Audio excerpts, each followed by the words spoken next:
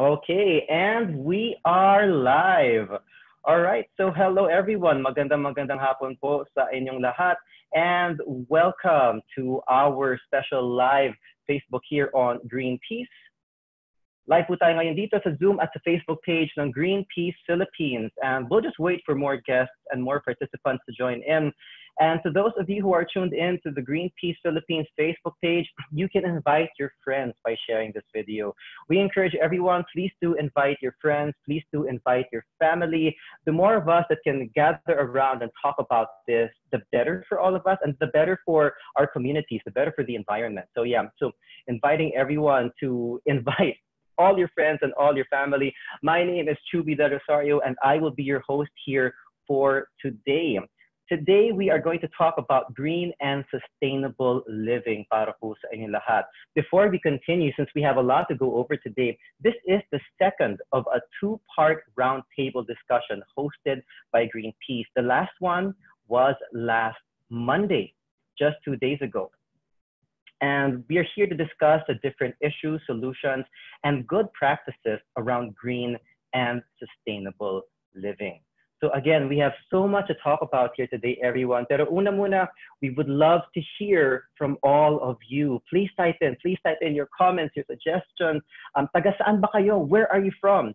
Alam niyo po, one of the good takeaways that we have during this hashtag better normal, which we will be talking about as we proceed, as we move further, is that we can all connect. We can all connect from all around the country and actually even all around the globe. So it's such a beautiful time to connect during these times. So here in Zoom currently, we have 42 participants and we have people from Paranaque, from Muntinlupa, from Cebu, from Quezon City, uh, Jolina from Pampanga, Mary is from Pagadian, Zamboanga, and it's just so amazing that it's just so amazing that we all get to connect from all around the country. So I'm going to take a look right now dito sa Facebook natin. Please feel to comment in. Please, please feel to comment in below. So I see Angelica from Zamboanga. There we go. Ayan, mag-comment-comment lang po tayo. Joanne, Joanne from Antipolo. I love it. We're we're from all around the country, and that is so amazing. We can connect. It doesn't matter if you're two miles apart or if you're 50 miles apart, 50 kilometers apart. We can still connect. We can still all connect here. Hello, Myrtle. Magandang hapon. Magandang hapon. So once again, magandang hapon po sa inyo lahat. Here live on Zoom and Facebook page ng Greenpeace Philippines. Once again, inviting you all to invite your friends, to invite your family, invite the people closest to you. Because today we're going to be joined by experts. We're going to be joined by experts in the field as well as government officials as well. And they're going to be giving their inputs, their reactions, and potential possible practices and activities we can have to help sustain and to help create greener environments para po sa ating lahat. And you know what? We would love if the conversation doesn't end here with this live. The more people that you invite, the more friends, the more family, the more we can bring this discussion out there and we can bring these conversations out there. Okay. So we are live once again po. And before we officially start, we would like to share some reminders with all of you. Okay, so we'd like to share some reminders with all of you. So it's right here. This event is recorded. It is live on Facebook. and if we're not speaking, please mute yourselves to avoid any audio issues. Kindly turn on your videos when you are speaking for our speakers later on. Ngayon po sa ating mga participants, meron tayong Q&A panel. Dito sa Zoom, meron tayong Q&A panel um, for your questions, and we will do our best to address them during the event later on. A gentle reminder, especially kung nasa Zoom tayo, is wag tayo mag-type ng ating mga questions sa comment bar, okay? Uh, we have the comment bar below, or the chat bar. So wag tayo magtanong doon kasi matatabunan siya ng mga chats and hindi natin siya ma-address. Okay, but if you put it in the Q&A panel, we will be able to address that or do our best at least to address that later on. Uh, meron tayong raise hand feature. So isn't it amazing how we've all gone digital? So meron tayong raise hand feature to alert our moderators if you have any questions, if there are any concerns. And a reminder as well that the views and opinions expressed by the guests do not necessarily reflect the opinions of those of the organizer. Okay. So once again, everyone saying hello. Uh, hello from Lapu-Lapu City. Where is Lapu? Saan ang Lapu-Lapu City? I don't know where Lapu-Lapu City is. But yeah, hello from Lapu-Lapu City from John, from John Leonard. Okay, so it's wonderful to hear from all of you guys. It, it really is amazing. At alam niyo po, we would love to hear from all of you because there, there are so many wonderful topics that I feel are very important to raise during these times. No? Alam niyo po, one thing that I feel is that is happening during itong current normal natin is that we are experiencing change. Um, change, I think that is the one constant that is happening. There is change every other hour, every other day. And so I believe that this is the best avenue for all of us to really address this change, hindi po ba? Kasi there's so many ways for us to address change. We can, we can address change in a not so healthy manner, or we can address change in a positive and progressive manner, as we will here today together with all of you. And so, everyone, we will be joined by Miss Abigail Aguilar. Very shortly, she will provide an overview on this round table discussion. She is the campaign coordinator of Greenpeace Southeast Asia. Abigail, are you ready? Yes. Hello, good okay, afternoon. everyone, here's Abigail. Yes, good afternoon to all, to all that uh, who are uh, online and joining us uh, through Zoom and through Facebook. So welcome to the part two of Utak Verde, um, Conversations on Green and Sustainable Living. Um, this uh, is a part of a webinar series that Greenpeace Philippines is organizing during the time of COVID. Um, so maybe people are asking, maraming webinars na nangyayari ngayon, but uh, what really sets us apart from, from all the uh, being organized out there. So this uh, webinar series is uh, part of uh, Greenpeace uh, Philippines uh, project to highlight a better normal. Um, we're, we're, we've been hearing about the new normal, but we think that uh, it is better that we pursue a better normal. Why? Um, because um, we think that um, during the this health crisis, we have seen that uh, there are the, the broken system has been exposed really. Um, we are all uh, um, um, shocked with what happened. But at the same time, ang dami ring mga solusyon na nakikita natin on the ground.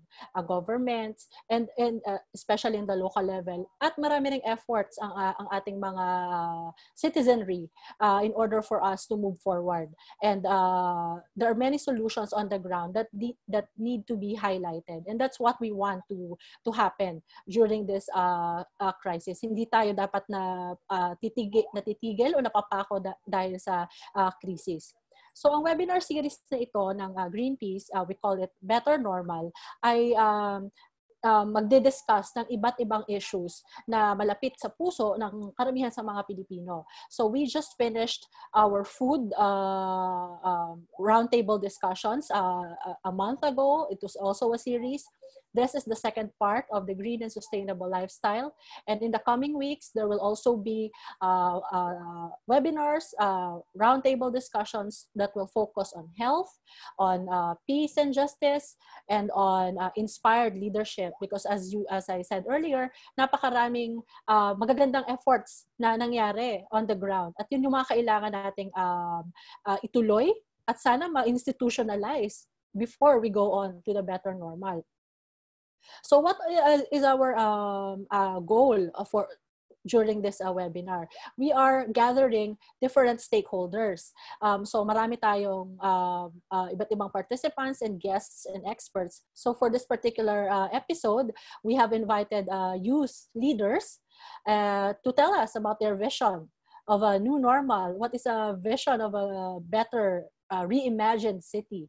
We've also invited uh, experts in their different fields, and uh, we've also invited um, key um, government uh, representatives from the local level and from the national level because they can tell us ito bang mga vision at mga policy recommendation is doable Is it something that we can all work together? So yun yung gusto natin na mapag-usapan. And by the end of this webinar, is sana mapag-agrihan natin at mapakumit natin ang ating mga stakeholders to move forward.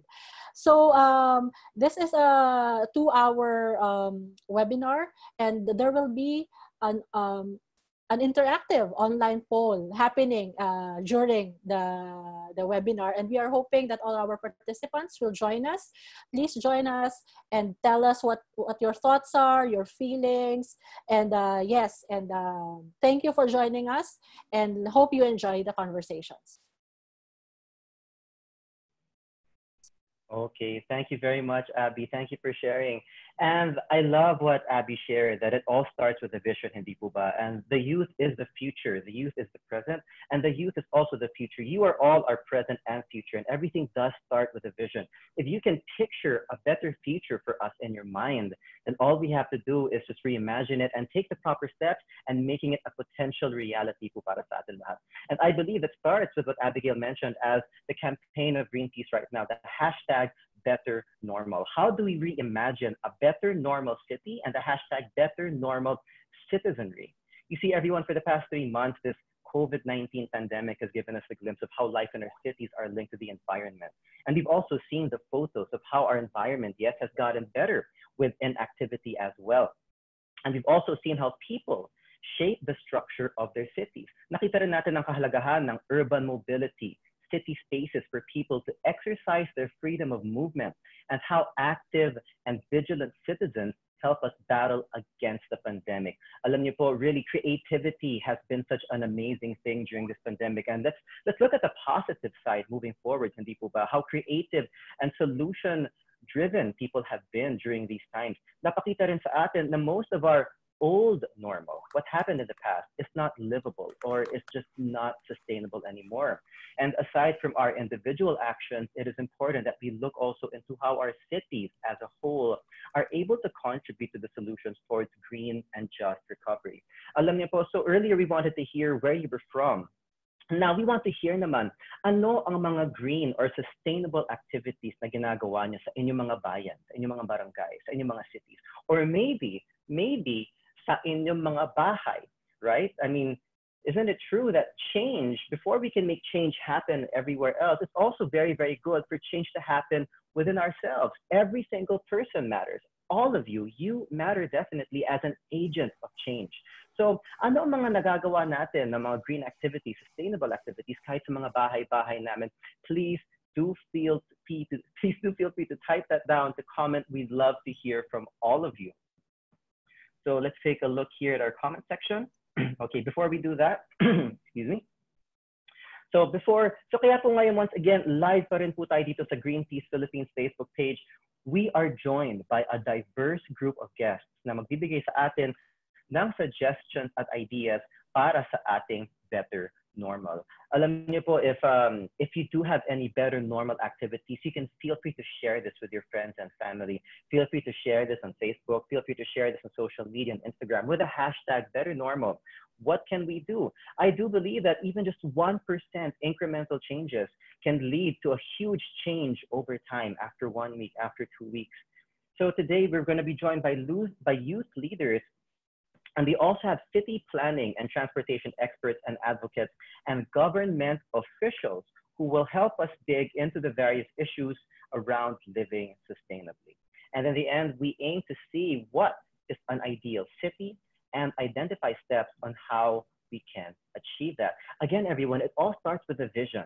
It all starts with a vision. If you can see it in your mind and if you can feel it, that this vision can potentially become a reality para sa iyo, para sa inyong pamilya, para sa, para sa ating bayan, then for sure that is the first step to really making it become a reality. Now, this afternoon, we will focus on three key issues on green and sustainable cities. We're going to be focusing particularly on urban mobility, on green and sit on green city spaces and on active citizenry. Okay, so we are going to be focusing on those things. So let's take a look here at some of our comments. We see that Mary Grace does herb planting at home. That is amazing, herb planting. Alam niyo po, that, that is such a, an amazing way to live sustainably, to plant your own food. Plus, it's much healthier, it's much more affordable, and it's also better for our environment yeah, feel free to type in. Feel free to type in your comments. Feel free to type in your suggestions. Ano pa ang inyong mga ginagawa to help your family, to help yourself? I hear, I see another one here from Maria Therese. growing vegetables in our small garden from seeds of vegetables and fruits I bought from the market. That's amazing. So we can actually learn from each other, hindi po ba? Me, myself, honestly, I am here to learn. I am here to learn. I'm, I'm looking forward to, to learning from all of you. I'm already learning from, pe- from you guys that are chatting here in our type box and in our chat box. So feel free to type away and and looking looking to harvest soon. Isn't that exciting that when you plant, I mean that harvesting period, when you finally get to reap, when you get to reap, right, the benefits of planting. Okay, so we'd love to hear from all of you. We'd love to hear from all of you on Facebook as well with regards to what are your green practices. now, before we proceed, let me introduce our guests for today. So today we will be joined by youth leaders, Erica Ching. Okay.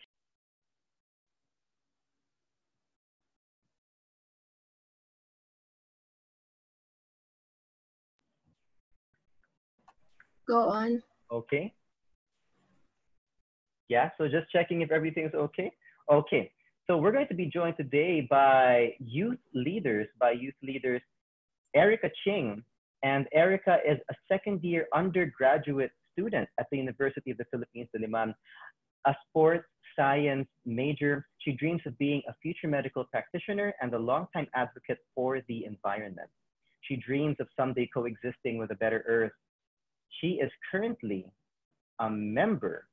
She's currently a member of the university-wide student organization UP Bike Share that manages a third generation bike sharing system within campus in the hopes of promoting cycling as a sustainable form of transportation. Okay, so here we have it. You can take a look right there at our slides para sa. So that was Erica Ching. Now, our next youth leader is Jolina Loneza. She is a Greenpeace volunteer and an architecture graduate from Don Honorio Ventura State University. She is interested about sustainable living that deals with homesteading and biotecture through online platforms. Homesteading, biotecture, that's honestly, that's the first time I've heard of that. She aspires to develop city strategies and approaches that integrate and approaches that integrate green concepts into city planning and managing processes.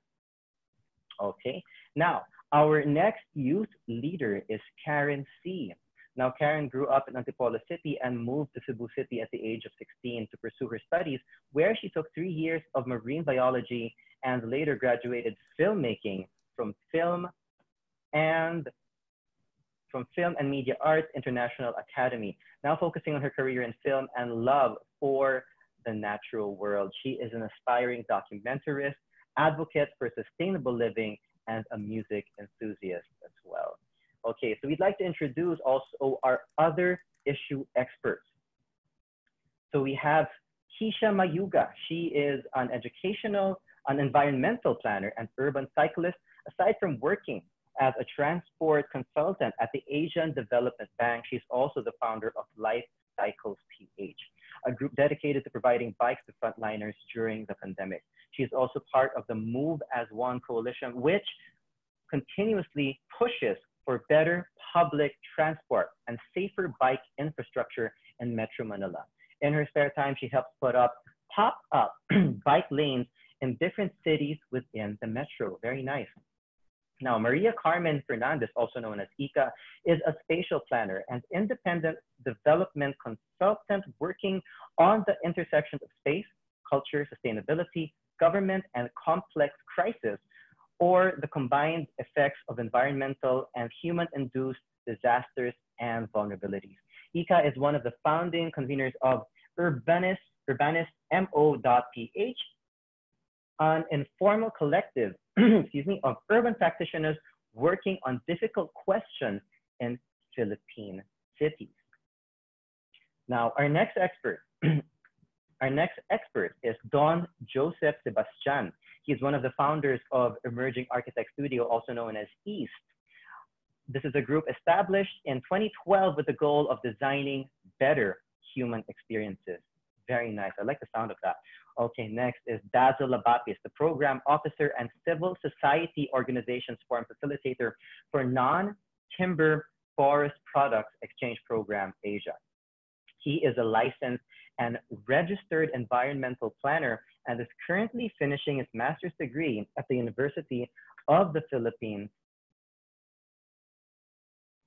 Finally, our guests from the government with us today are the Sangguniang Kabataan Federation President of Pasig City, Ms. Patricia Torres, the Sangguniang Kabataan representative from Davao City, Kent Jones Ramos Angcajas, City Director from Department of Interior and Local Government, Makati, Attorney Cherry Kanda Melodias, Head of the Public Information Office or San Juan City, Mr. Brian Helly, and Legislative Officer from the Office of Senator Ralph Recto, Ms. Cristela Castronuevo.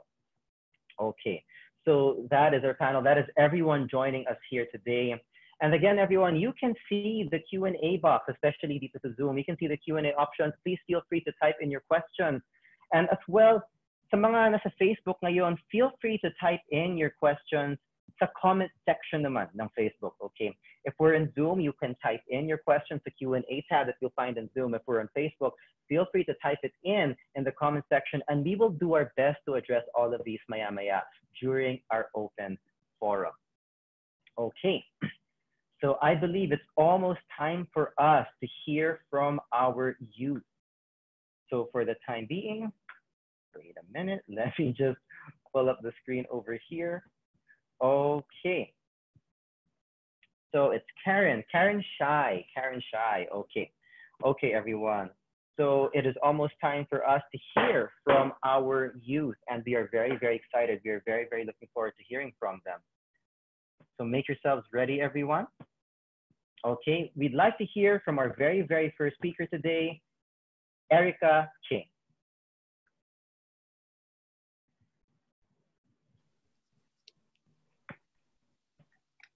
Okay, Erica, whenever you're ready. Hi, hi, hi everyone. Good afternoon. All right, um, I'm about to start.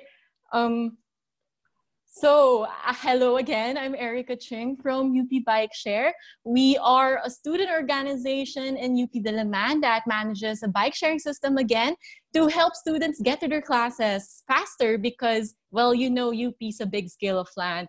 And we, as members of this organization, advocate for cycling as an alternative yet clean, efficient, eco friendly way of mobility.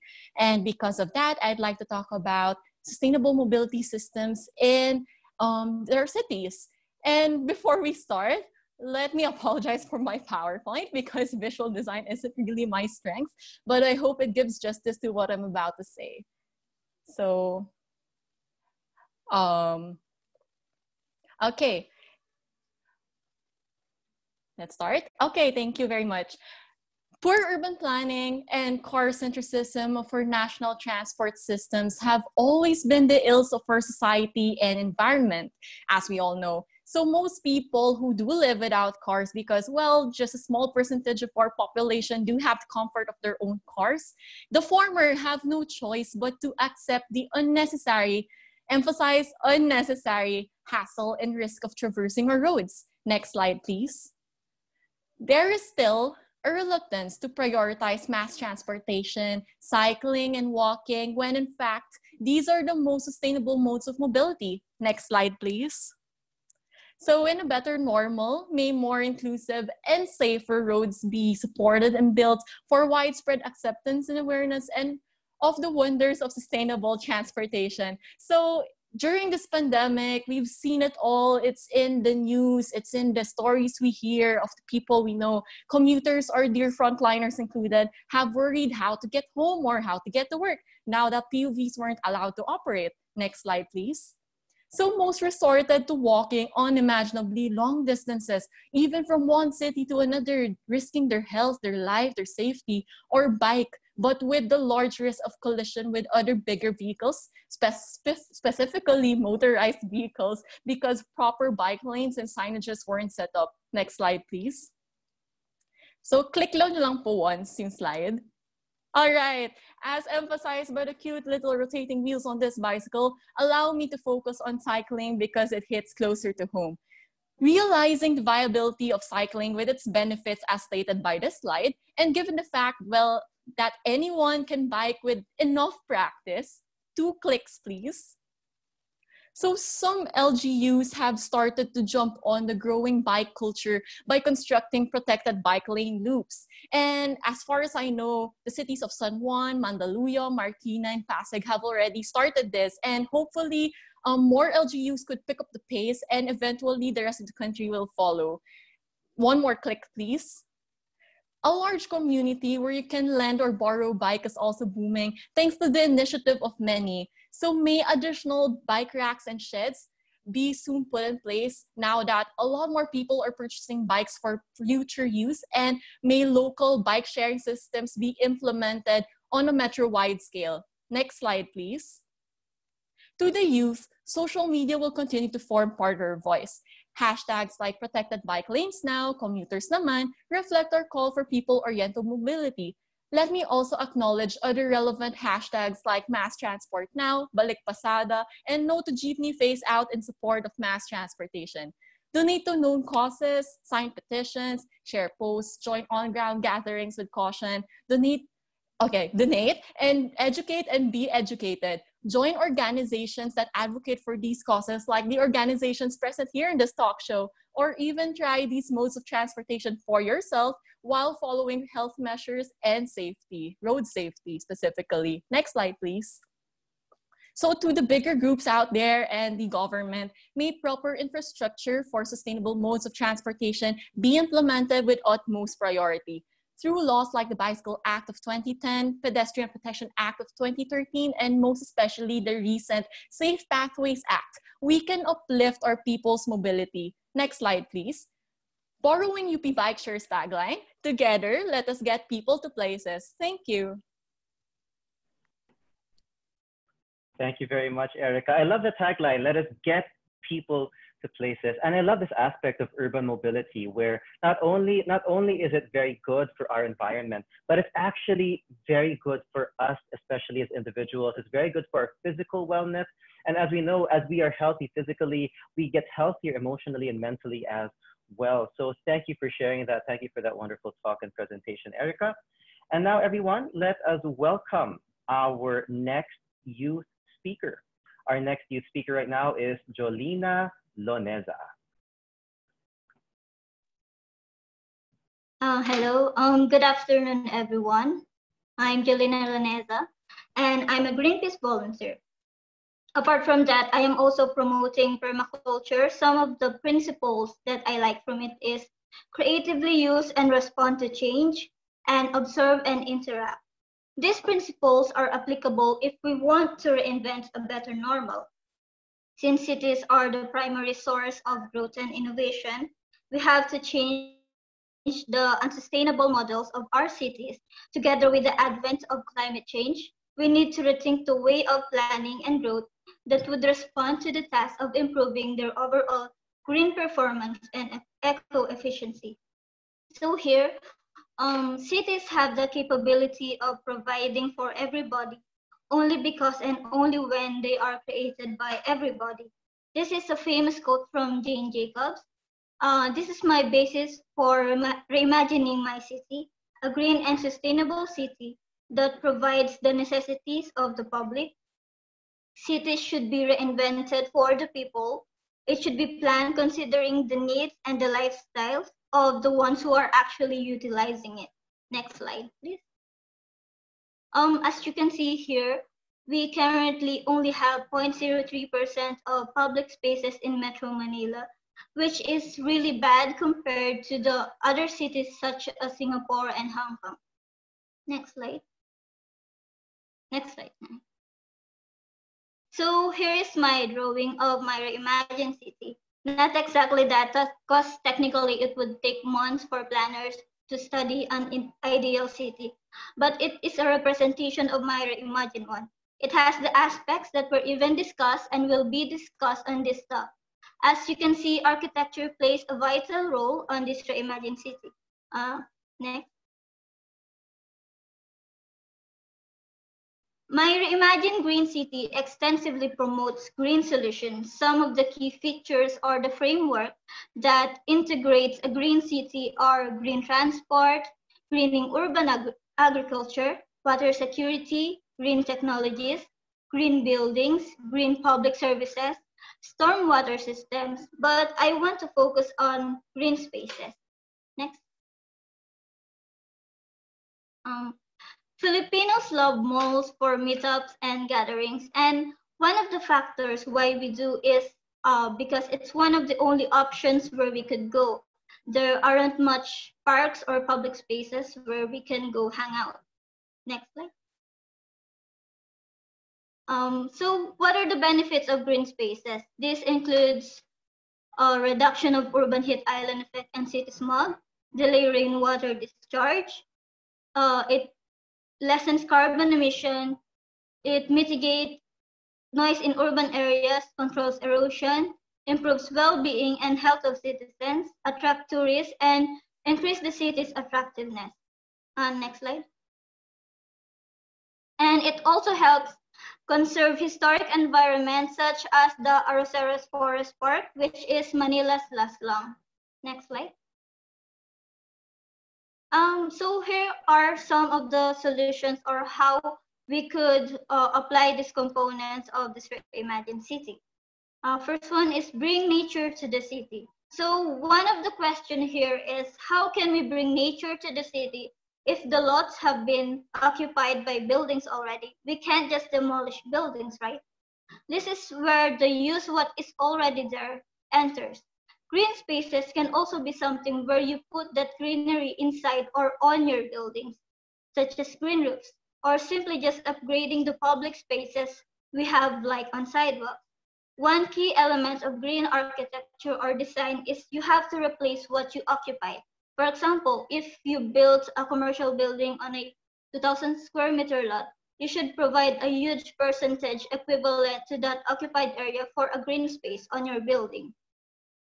The build, build, build projects of the government would be so much better if they would strictly stick to that component of green, green, green or sustainable and livable design since professionals and experts are really considering and studying different factors, escaping those standard and outdated designs that we've been having for years or decades. Uh, also, this sustainable plan doesn't only mean putting nature as a component or design, but it also considers the process, the materials, and how we could adopt and maximize the, the use of nature as a part of the element of the design of or the plan. It's a really great solution if they could incorporate this program. Uh, for urban agriculture and incorporating more regulations are something that should be done by the community and the LGUs for the cities or municipalities to be more self-sufficient. Though this was already uh, discussed on the first talk, and it's really enlightening to know that there are efforts that are already that are already being executed.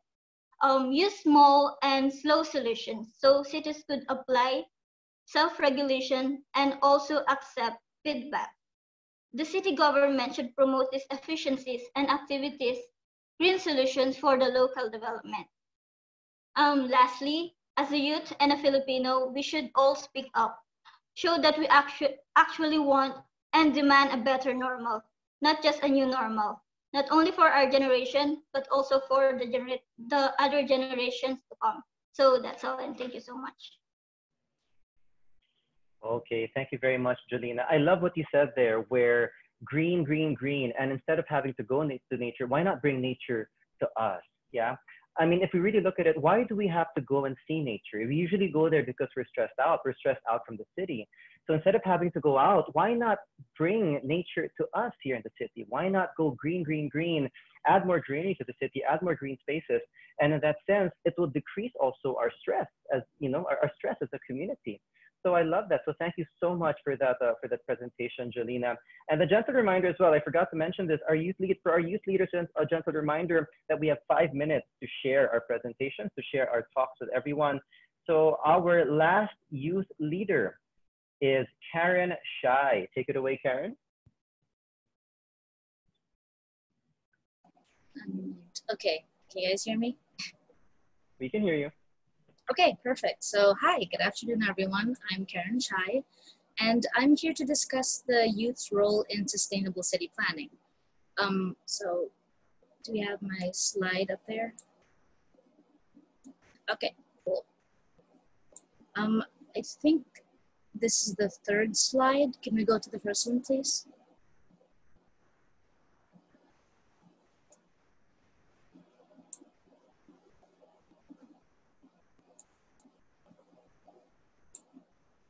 Okay. Oh, okay. Well, um, I'll just go ahead and say it anyway.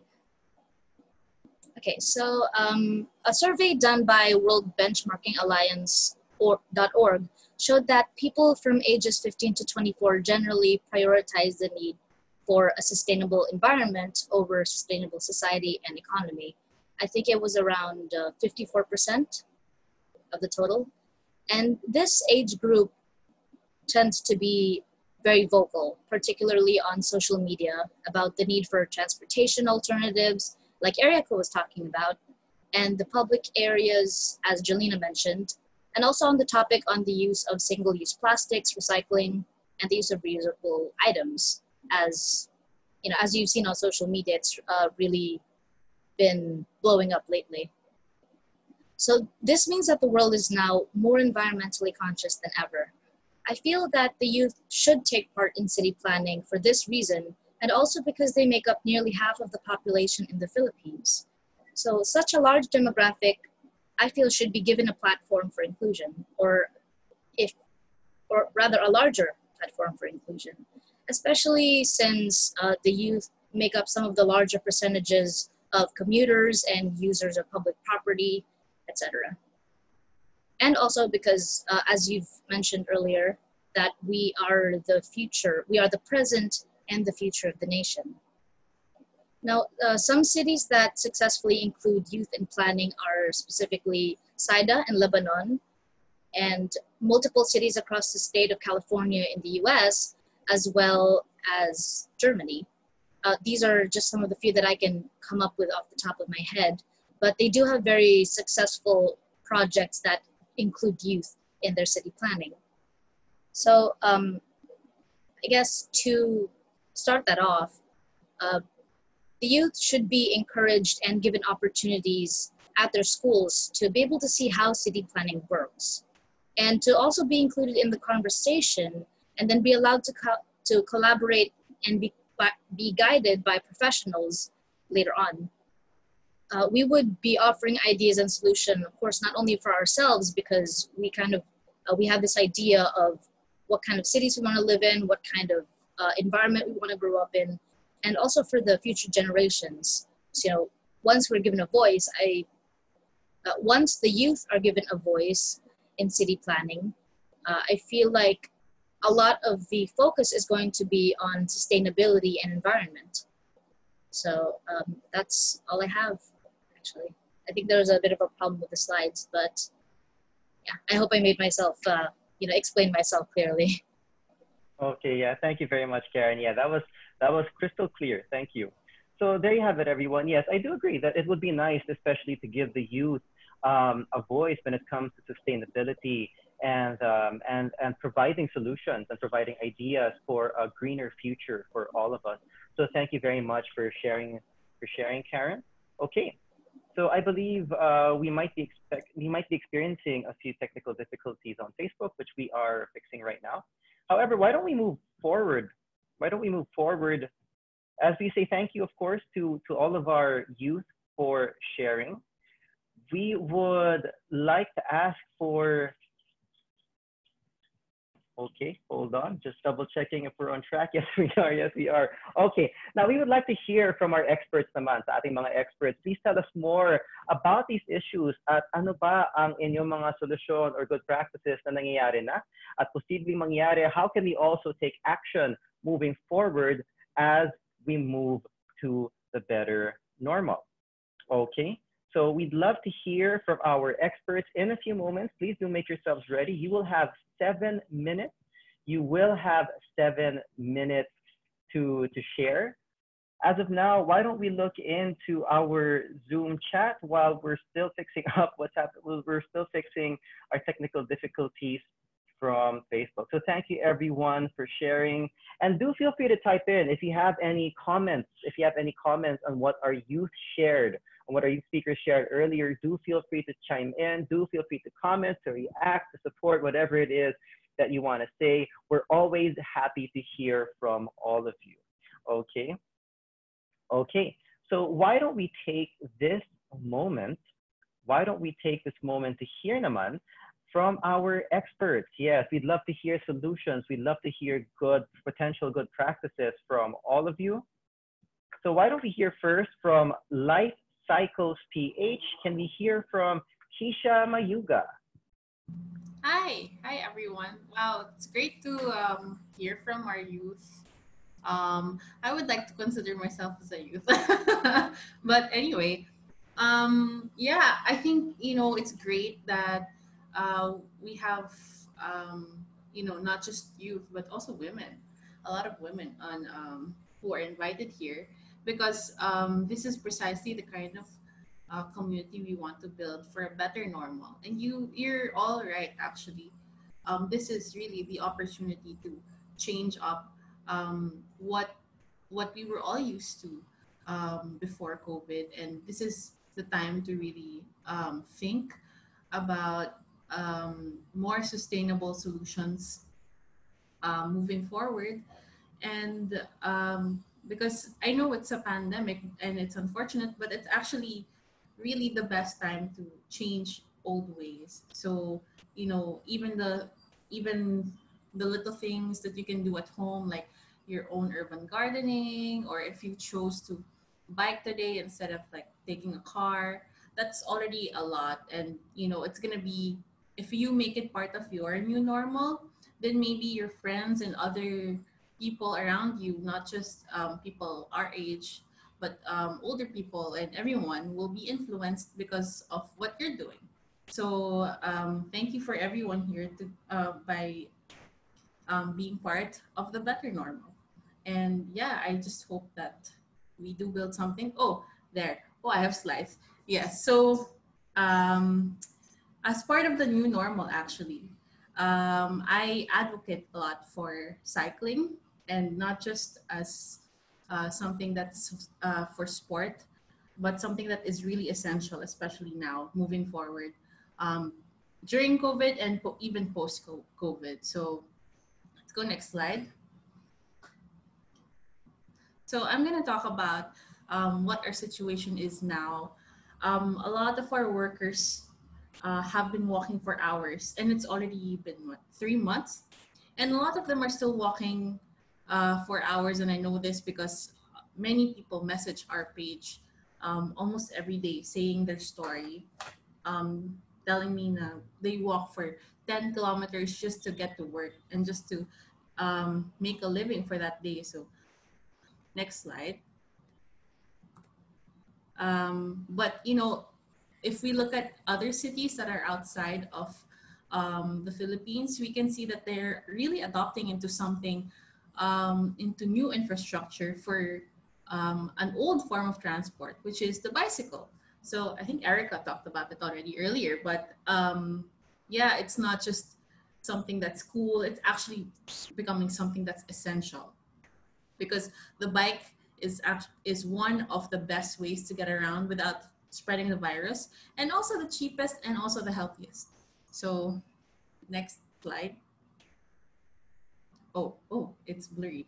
Anyway, so um, an estimate, we estimated uh, from um, various groups that just within the GCQ, uh, ECQ period to MECQ period, there were 5,000 new cyclists and um, electric scooter uh, users um, just within two months. And it probably boomed uh, when GCQ happened because then all the bike shops um, opened up. So we are talking about thousands of new cyclists and scooter users out there.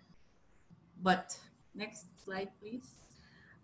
But how um, can we protect them? So, and we're always assuming that uh, once public transport becomes normal, people will go back to that. But in reality, we did a survey, and a lot of the cyclists, the new cyclists now, um, said that even if it returns or even if there are shuttles, they're still going to continue biking. So next slide. But how could we improve this experience for everyone who just started and who are also thinking about biking? So um, what we want to push forward is actually putting up bike lanes, protected bike lanes, not just in LGUs, but also in national roads. Um, because imagine thousands of people um, are biking now and there is just no other form of protection for them because it was never allocated. So um, next slide, please. These are just some of the stories of them asking that, you know, the government should really do something about putting up bike lanes because they have no protection against a car that's moving 30 kilometers per hour or a motorcycle that didn't see them. And it's really high time um, for everyone to recognize, not just the government, but also motorists, to recognize that there are cyclists on the road and that we should respect, um, we, we should respect them. So next slide, please. Um, and I know for a fact that there are a lot of cyclists because in life cycles, um, we have given more than a thousand frontliners within just the past three months. Um, we've given them new bicycles to get to work. In, in, fact, I saw some of them earlier when I was um, biking out um, nearby, and it's really becoming part of their new normal. And it's not just because they, um, you know, if they had a choice between public transport or biking, they would still choose biking. Um, and it's part of the better normal that we really want to get into. So next slide, please. Okay, so um, these are actually updated because we just delivered a few bikes just yesterday. So it's more than a thousand by now, and we already raised 3.1 million um, just to give bikes to the frontliners. So it's not just bikes, it's also helmets, it's also locks, it's also lights, um, just to make sure that they're safe. Because again, we don't have proper infrastructure to protect um, our cyclists. So next. Next slide, please. So what we are proposing, me and a team of experts are actually proposing is that we create hospital loops in different cities um, in Metro Manila. So these are just some examples. Here's one in Quezon City connecting uh, four hospitals, another one in Manila connecting three hospitals, and the one in San Juan, which they just put up last week for World Bicycle Day, um, connecting two hospitals and expanding to more. So next slide, please. So I just want to close with this because I know there's a lot of us, but um, we really need to recognize that cycling is not just an alternative mode of transport, but a main mode of transport, not just for our nurses, not just for our doctors, but a lot of employees out there, a lot of people who need to do their daily things. And what can we do to the what can we do for the people who have been saving our lives for the past three months? So just want to close with this. The least we can do for the people saving our lives is to save theirs. Thank you. Okay, thank you very much, Keisha, for that very enlightening talk. And actually, as you were talking, as I was seeing your slides and the statistics, I started thinking, where can I get a bike? I, I haven't really been going out during these times, but but I you know I, I because honestly I'm not that uh, educated yet as, as to the as, as, to the complete benefits and the bigger picture as as to the the, the benefits of, of urban mobility through biking. And thank you for sharing that. And and I love it that we're all here to learn together. And so once again, everyone, uh, if, if, whether you're in Zoom or we hope that we've fixed our Facebook technical concern, we'd love to hear from all of you. This is a wonderful, wonderful learning period for all of us. This is a wonderful time of change. And this is a time, this is a time where all of us, where even you, where one voice matters. So we would love to hear from all of you.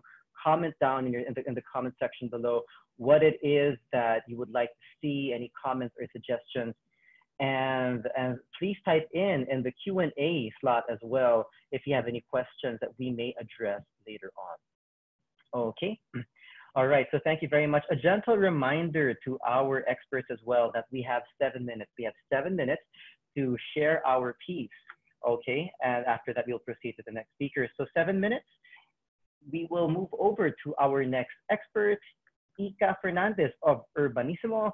You are up.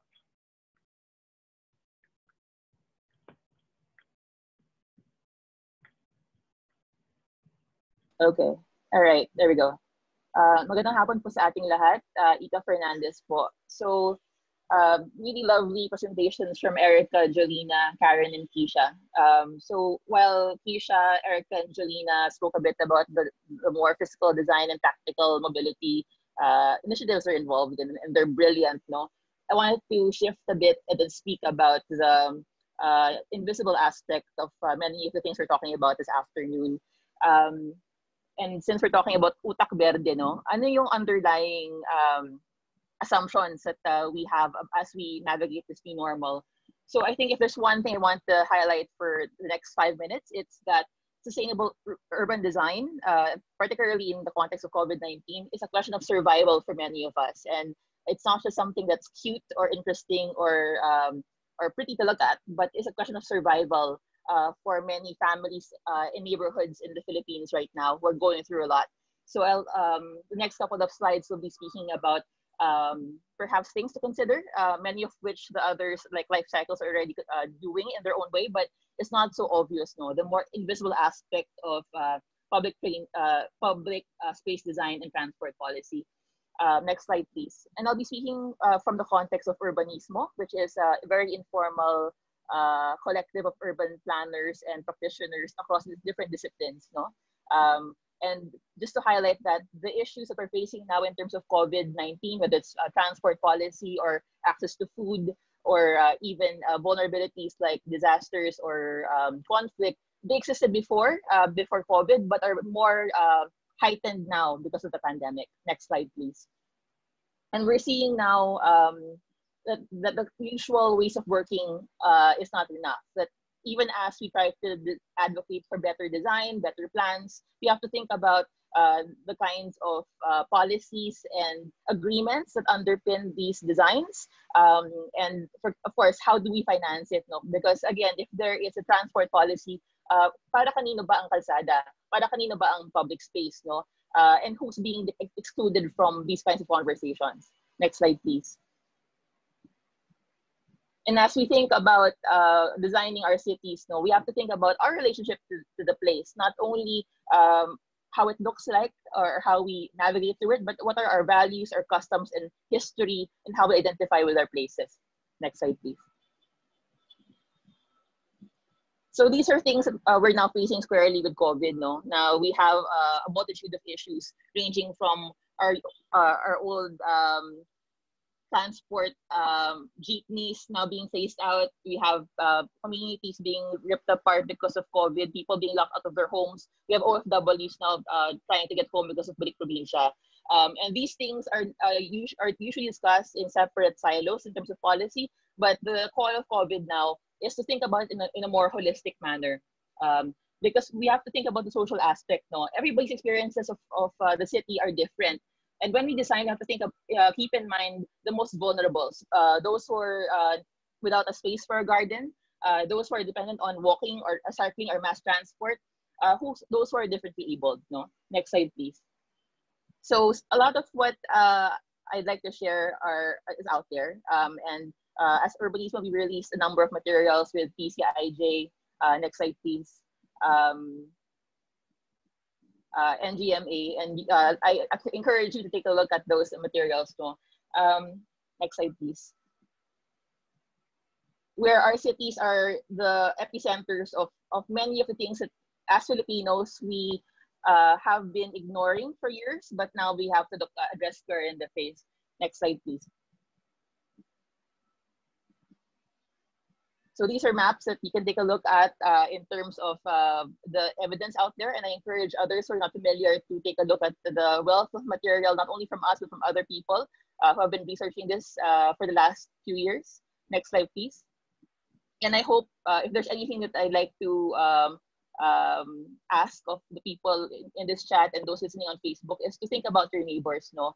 Uh, because as this map shows, uh, although we have very rich uh, communities, say in Metro Manila, in Pasig or QC or Manila, uh, uh, right beside these areas of, uh, of, of wealth, you have pockets of poverty. Um, please ask yourselves, are my neighbors doing okay? Are my, is my open, my space um, actually serving even the least of, of my neighbors? Or is it something that they don't think about? Next slide, please.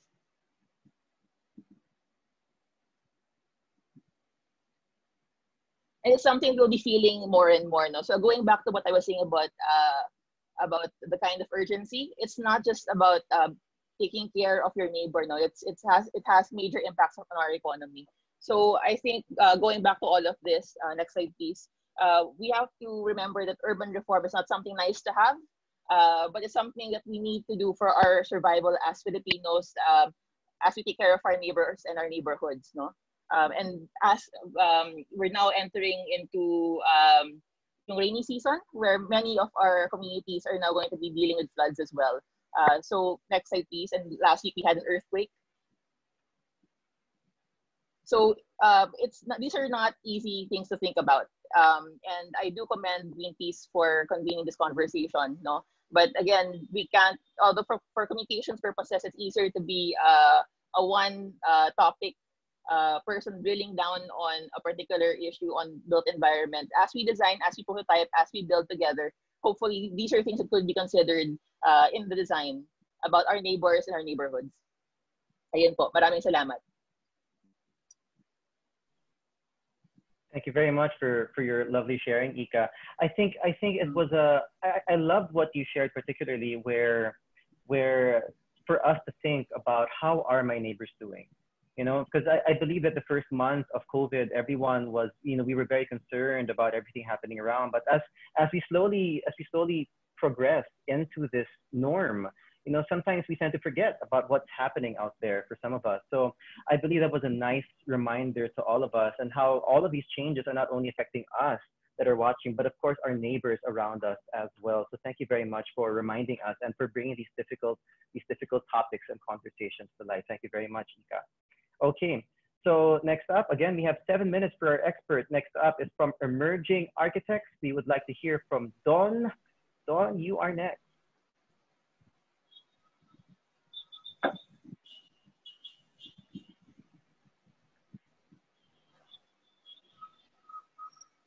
Okay, Don.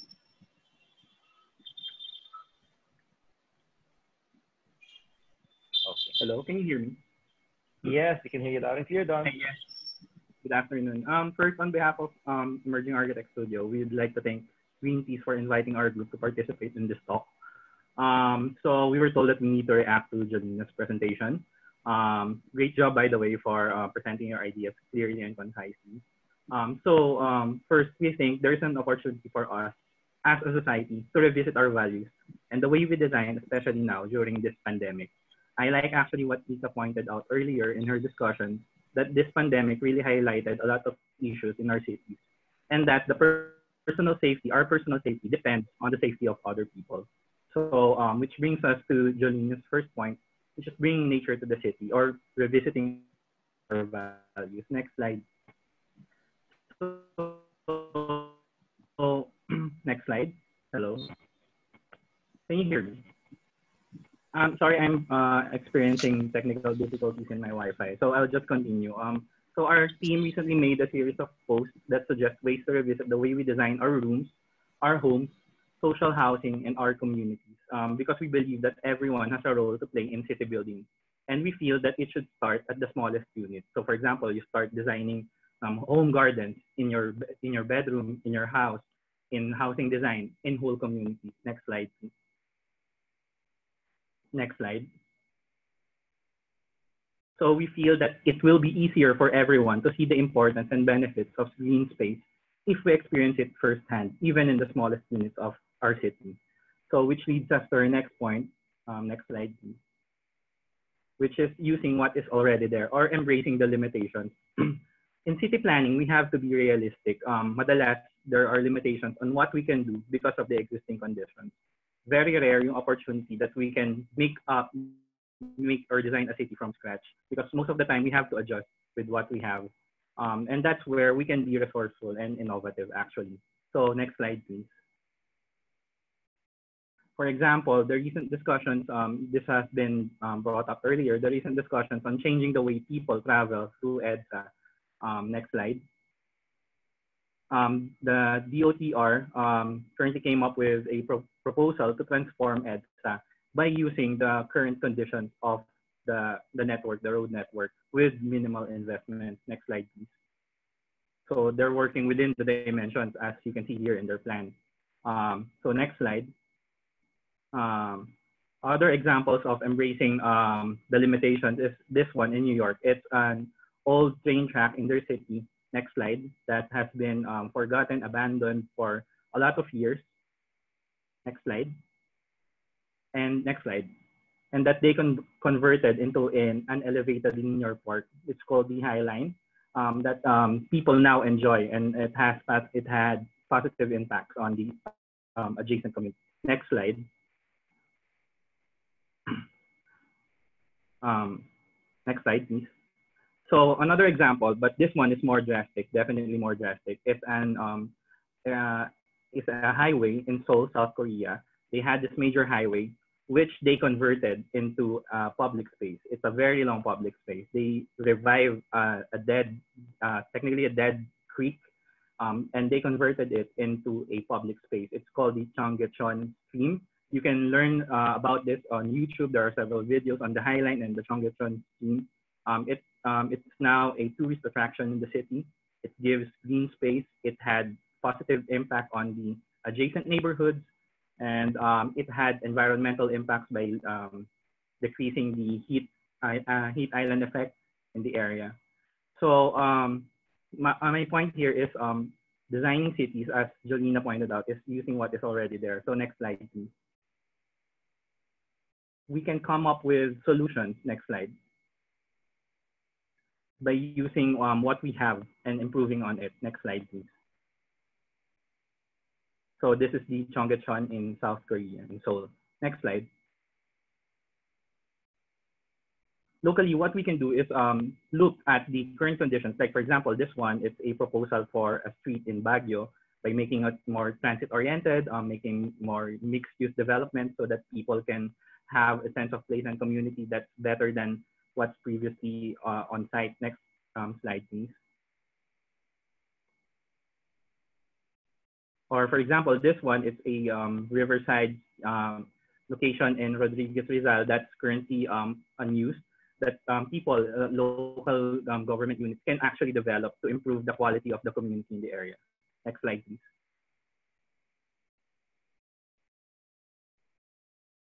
Next slide yeah, for example, that um, simple solutions like that one, which brings us to her third point. Um, next slide, please. Um, the build, build, build, or the green, green, green, or it's a new opportunity. Um, next slide, please.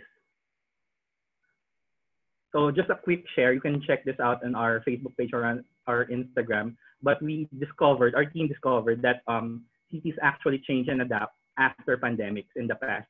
This led to the creation of sewers, Save Street, even the New York Central Park. It was created to um, push um, public health in the forefront, to, to advance and improve pub public health. Next slide, please. Next slide. Uh, next slide again. Next slide. So cities actually evolved to hopefully be better. Um, actually here in the Philippines, we have um, Iloilo, which is paving the way for sustainable city design, and even Pasig. Um, they have elevated walkways in the CBD that's promoting um, uh, pedestrian movement and community and green space in the city. So um, as a, uh, some, something to improve on is that city planning is a holistic approach. It's a multidisciplinary task, and green space is one of the aspects of this process. Uh, but there are a lot more that we need to consider. For example, better cities or cities of the future should be inclusive and aim to address current inequalities that we learned from uh, or was highlighted during this pandemic. Next slide, please.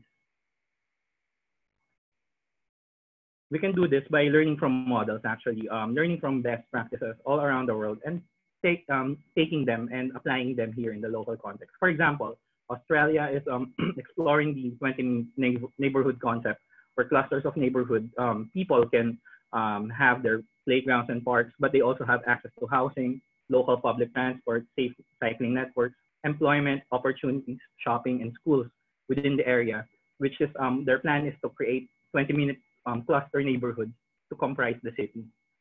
or we can use next slide, please. Metrics like this one. Um, this is from Project for Public Spaces.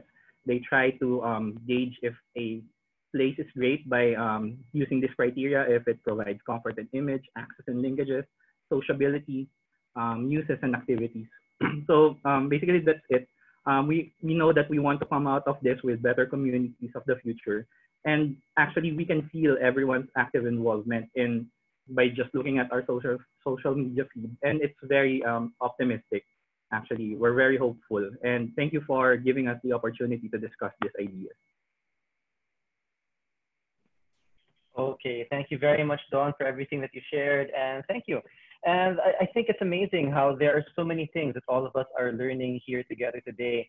I love the I love what Dawn showed that historically is that it's shown that that a lot of changes tend to happen during pandemics like this. And as Dawn also shared earlier, that it's during these times talaga when we as individuals, dito talaga lumalabas ang, ang pagka-innovative natin, ang pagiging, ang pagiging creative natin because we are, we are forced to find solutions to what is happening around us. So we encourage everyone to continue, to continue to share um, continue to share what your insights are. If you have any questions, uh, get creative with your questions too. That's totally fine.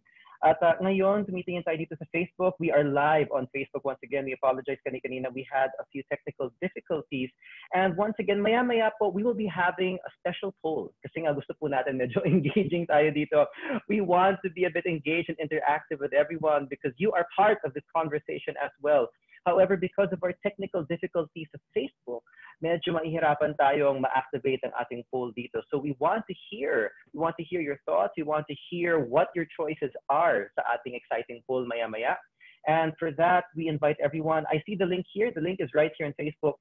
You can find the link there to our Zoom room where we will be able to engage with you better. So inviting everyone to join our Zoom room as well so that we can join in sa ating poll maya-maya. Okay, so thank you for everyone that's sharing dito sa Facebook then. Okay, so once again, everyone, please join in dito sa ating Zoom room. And right now naman po, we will continue. We will continue with our panel discussion. So we just finished with uh, Dawn sharing. Ngayon po, we have seven minutes with our expert from non-timber forest products. Exchange Program Asia, our last final panelist, uh, expert natin for today, Dazzle Labatis. Yes, Dazzle, you're up next. Uh, yes, hello. Um, good afternoon, everyone. Thank you, Chubi. Thank you, uh, Greenpeace, for inviting me this afternoon and provide my insights not only to Karen's presentation but to the presentation of all the youth. Nakaka, actually nakaka-inspire to hear everyone um, sharing their vision no, of reimagining the city, uh, living better after COVID-19. So I'm focusing more. So, so some of our my colleagues discuss on the built environment and how tactical urbanism can be uh, designed. So I'm because Karen uh, presented about um, active citizenry, so I'll be focusing on that. So First, uh, let me introduce NTFP. And the Non-Timber Forest Products Exchange Program Asia or NTFP Asia is a collaborative network of over 100 non-government organizations and community-based organizations working with forest-based communities to strengthen their capacity in the sustainable management of Indonesia, Malaysia, Vietnam, and Cambodia. So I'm very happy with Karen's presentation. Although it's I sayang nagkaroon na ng technical difficulty on the on the slides no but I I I have here one slide to identify three good points from her presentation. First it's very good that she mentioned about opportunity no. Opportunity was identified because we all know that when provided with knowledge, opportunities and enabling an inclusive environment that they need to thrive, youth can be a positive force for development, particularly in planning, no? Because we're that this is the focus of our uh, topic for this afternoon.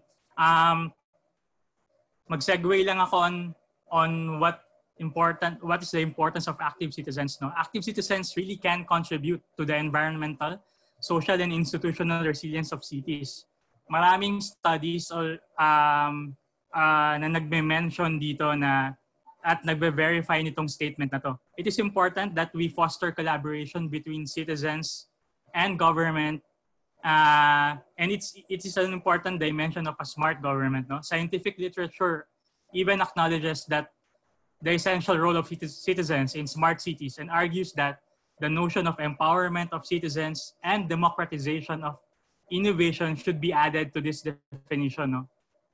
Uh, but again, um, like what Karen mentioned, it's also important that she discussed the importance of education. So we start, it's important that we start in our school. Uh, actually, it's also important that active citizenry starts with our family. And okay din na, na, na-identify niya na yung term na encourage, no? So when we encourage the youth, we must we must ensure that we really meant it, no? Not just uh, for tokenism, and we have to set a good example.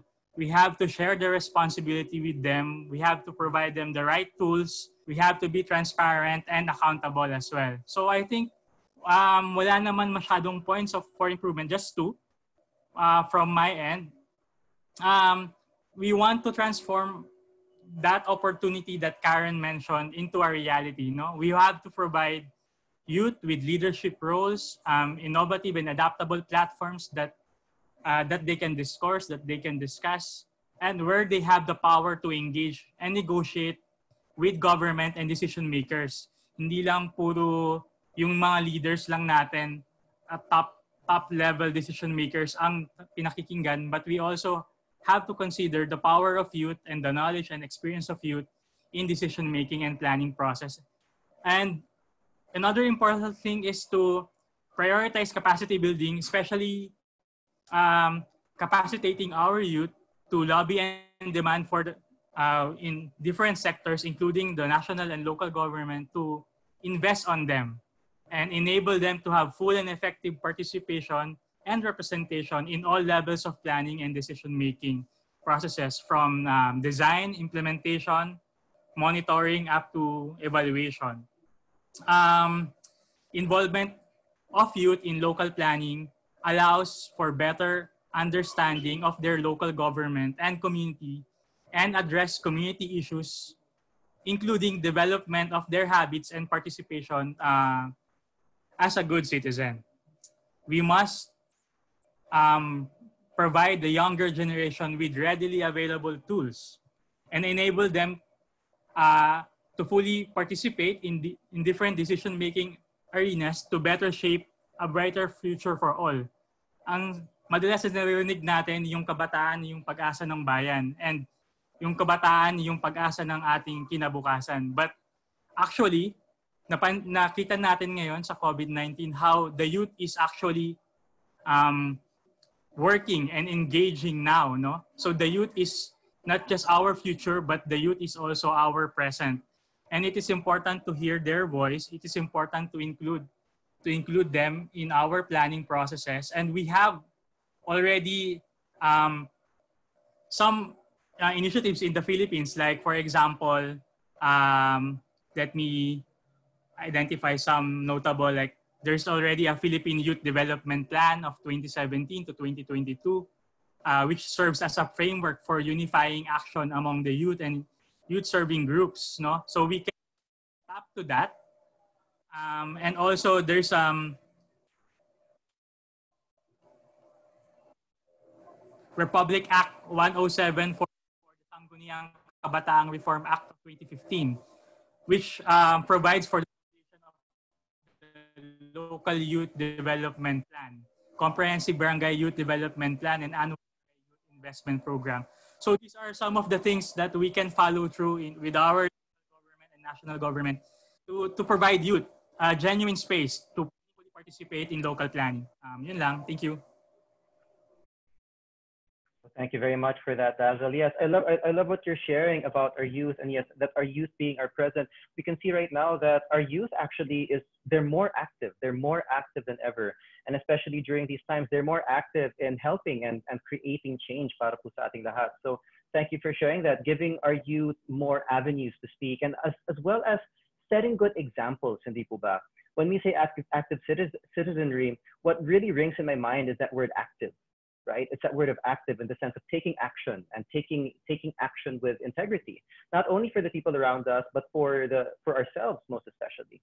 And so with that being said, ngayon, um, thank you to all of our panelists that shared. Maraming maraming salamat po sa inyo. Very, very insightful. Thank you very much.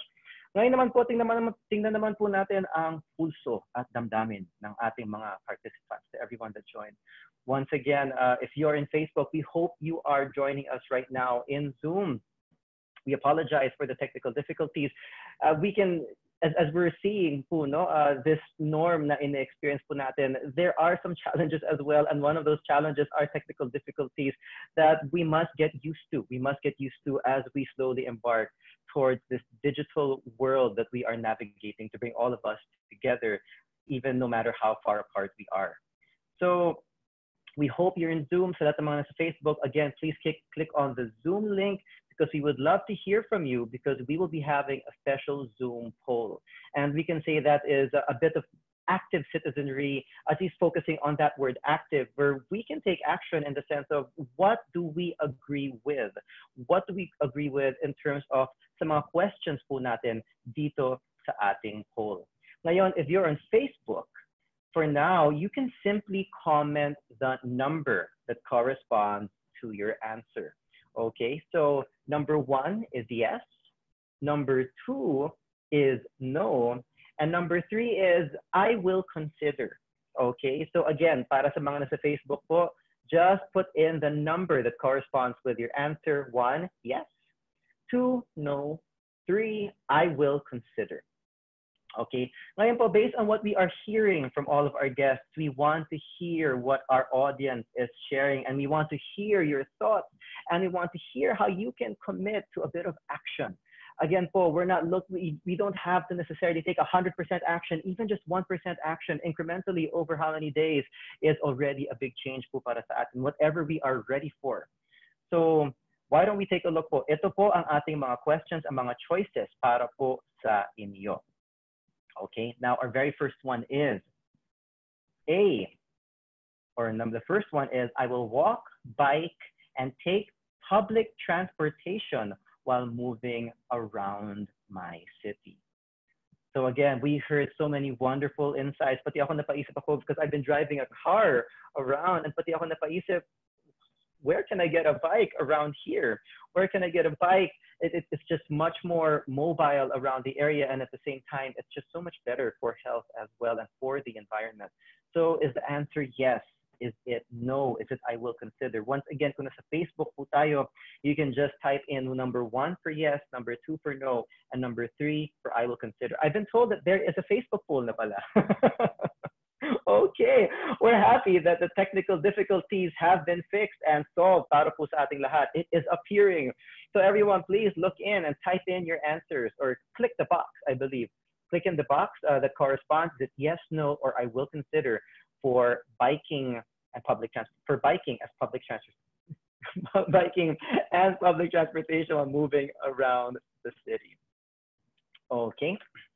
So that is for the first one. And we're going to gather up all of our collective answers po maya maya and we will take note and we will announce kung gaano uh, we will announce our uh, yung inyong mga sagot.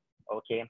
So next is number 2 is to sign the national petition to reclaim city spaces for people such as green spaces and urban forests. Okay? So what is your answer there? Is it yes? Is it no? Or I will consider? I believe this is the easiest option that we can have.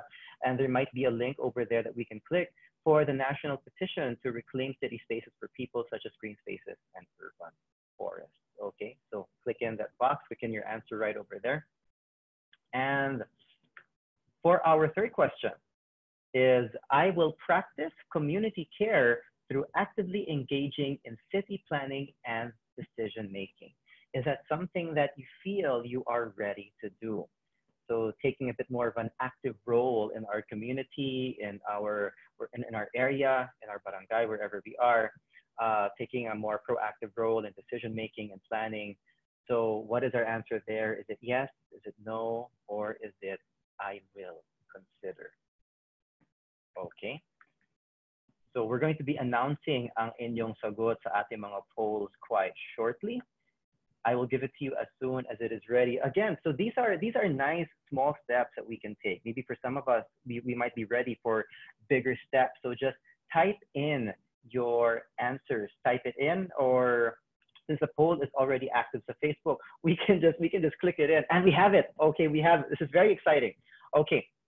Ito po ang ating poll results. Number one, with, regards to biking and taking public transportation, 82% of you said yes, and 18% of you said, I will consider. So thank you very much para sa ating super duper engaged na audience and very interactive.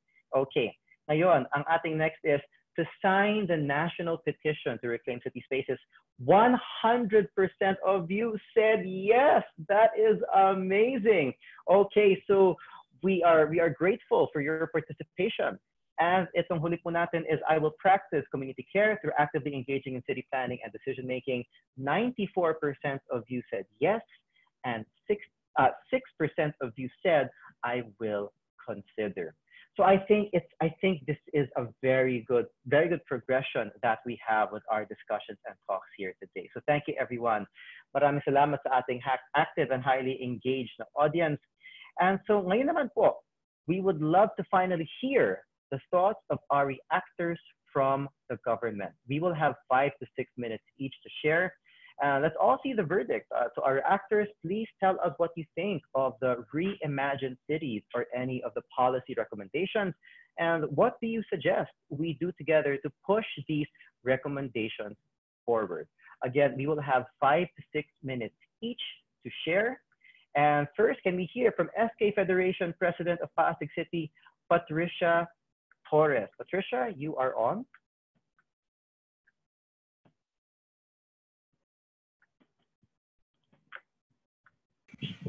Hi, can you hear me? Yes, Patricia, loud and clear. Okay. Okay. Um, let me start. Um, like the past, um, on the on the part one of this webinar series, um, I was very firm in saying that this is very very possible no? Um having urban spaces and um, having active citizenry no? But it all takes a political will no? From the leaders eh, from the leaders from the national level from the local level to actually make these things possible. Now let me comment on um, each of the speakers or the major topics they have discussed no uh, first the um, um, I would like first to talk to share how Pasig has been called um, a green city and that we have been innovative in terms of green solutions such as elevated um, walkways, um, having bike lanes on our major um, roads, um, single-use plastics on our markets. All this have been um, existing even on the past administrations. But of course, there are more ways to actually innovate innovate more. So um, on uh, on the bike lanes, currently, um, I feel like since we've already started this initiative having um, bike lanes, I think it should be expanded also on not just on main roads, but also on on on streets, on uh, narrow streets within the city. I think especially that since um, most commuters live in the barangay areas when streets are narrow. These streets should also have um, bike lanes. No, I think um, we've been very supportive on this. Besides the bike lanes in the roads, we also we also need to um, help the bikers to have to pro, to ensure their safety, like provide bike vests or um, have anything that could identify them because of course when we are in the streets um, major vehicles or cars doesn't especially in in wide roads, don't necessarily see our bikers. So we need extra identification in them so that they'll be seen in our roads, especially at night. Of course, um, some bikers um, go home at night, and when some streets, especially on narrow streets, doesn't have um, good lighting, unlike the, the ones in the main roads, um, it compromises the safety of our bikers. So um, these are the current policies we we are um, proposing for the bike lanes uh, uh, for bikers. So also in terms of decision making in in our in terms of um, planning and urban planning, uh, the the youth has been very vocal about this. In Pasig, especially, we have representation on SK, but um, actually from the past administration, we didn't have much voice, no. Um, there's a specific um, department in charge on this, but on the on the recent administration, we've been youth has been pushing for uh, more innovative solutions in the LGU. We've been engaged, no. Although um, medyo na, na stop because of the COVID crisis. We hope that in the in the next months we'll be able to complete no yung mga solutions ng current administrations for um, more urban planning in Pasig. But um, rest assured that um, in in this um, aspect of of decision making, it should not just be those in position. Unlike, for example, me as as the as one of the Sangguniang Kabataan, I have a voice in the LGU. But this is not enough. No, my my knowledge is not um, sufficient to to represent everyone in, in the LGU. We need more youth engaged in this from not just in the LGU level, but also in, in the lower level, in the barangay level. No? Um, we have SKs in there. The barangay should also be very, very open in terms of, of accepting suggestions on urban planning because um, even if we make the main roads under the city's jurisdiction very safe or innovative or progressive with bike lanes and with with everything we wanted if the barangays if the barangays jurisdictions is not as um, innovative or progressive in terms of having a green and sustainable um, roads or places you know it should, it would not be sustainable in the ro- long run so we need to be engaged first in the community level to be able to um, have a holistic process. Also, our constituents naman are mostly in the barangay level. No? We need we need more voices from the workers. We need more voices from our PWDs, our single moms. Um, we, we need all these stakeholders involved in the process. No, our leaders should be very very welcoming in for for their um for their voices. No? I would like also to comment. I, I like I like how the second speaker talked about on how um, we Filipinos we, uh, really like the malls. No, we, we like it's it's only in the Philippines that we have so much malls more than green spaces and that because everything is in there. But I feel like I'd like to comment that we like the malls not because we inherently, you know, um, love it to have everything in one but because we are forced to you know we are forced to like because that's that's what that is what is available so i think we need to decongest especially um in in local areas um to have um different places for for different things no like and have more public and safe spaces in pasig um we had uh, several parks. No, of course, this is still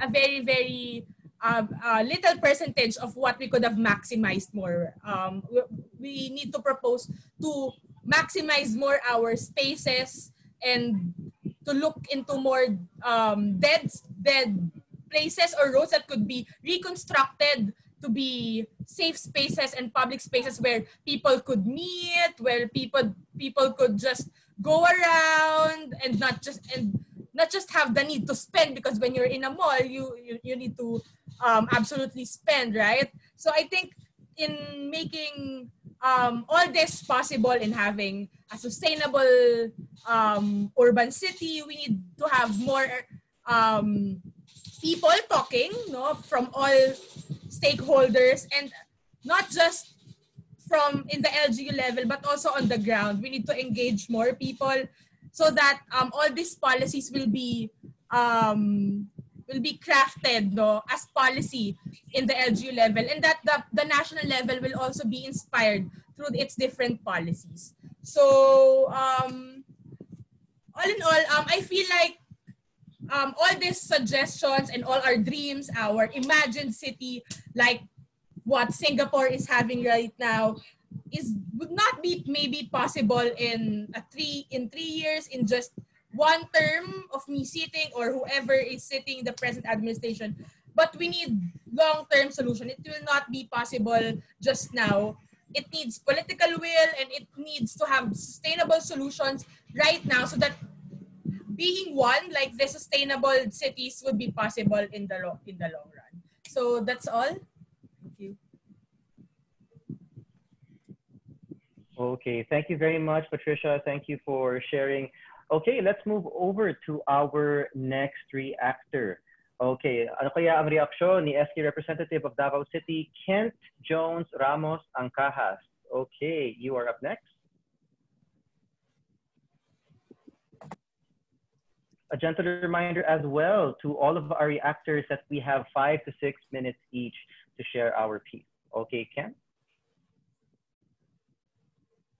Kent, you are on mute. Please unmute your, your Zoom. Ayan, okay. Okay na. Okay na po ba yung audio ko? Yes, okay na Kent. We can hear you. Okay. So good afternoon po sa lahat ng mga audiences at sa lahat po ng mga reactors dito sa Greenpeace. Um, let me take my comments and reactions about sa lahat po ng mga about this decision making, about all of the mga imagined city na ginugusto nating lahat. And uh, as the representative of Davao City for the SK Federation Davao, um, let me take my comment about this decision making. So lahat po ng mga laws, lahat po ng mga inimagine, lahat po ng mga gugustuhin ng isang LGU will be implemented if it will be started from the lower level or the barangay level. So me as an SKHR person, siguro mag-start muna sa bata. That dapat uh, we, uh, we the SK leaders will impart knowledge about the clean and green environment, about all the environment environmental issues. And most normally, all of the sectors of our barangay should cooperate and be engaged in all projects and activities initiated by the youth leaders of our city. So, lahat naman po ng mga desisyon natin is may punto. And siguro kailangan lang po natin ng suporta galing sa ating mga higher level or the higher government to make it possible. Kasi naman, all about bicycles and everything to make the people safe. Lahat naman po siguro pwede. But it should be taken first from the local government unit and next lahat dapat sila mabigyan ng ng atensyon kasi here in Davao City for example in our respective barangay hindi naman po lahat ng bata dito o mga kabataan ay mahilig po sa environmental protection like uh, replanting, like coastal cleanup drives. Kasi most normally lahat dito mahilig sa um, Mobile Legends and most of them may mga gadget na. So it's all about how will you motivate or how will you invite them to join the activities of the SK for them able to grow as a person and as an individual in helping the, the environment and protecting our mother. So on behalf of the SK Federation Davao, that's my take and my reactions. To our speakers, thank you so much. I will take a review of your presentation because it's so fast, hindi ko masyado nabasa lahat ng mga slides. So thank you so much and thank you Greenpeace for inviting me here as your reactors, one of the reactors, and to all the SK Federation officers and SK chairpersons of the Philippines, mabuhay at magandang uh, hapon Okay. po sa inyo. Okay, so thank you very much, Ken. Thank you for sharing.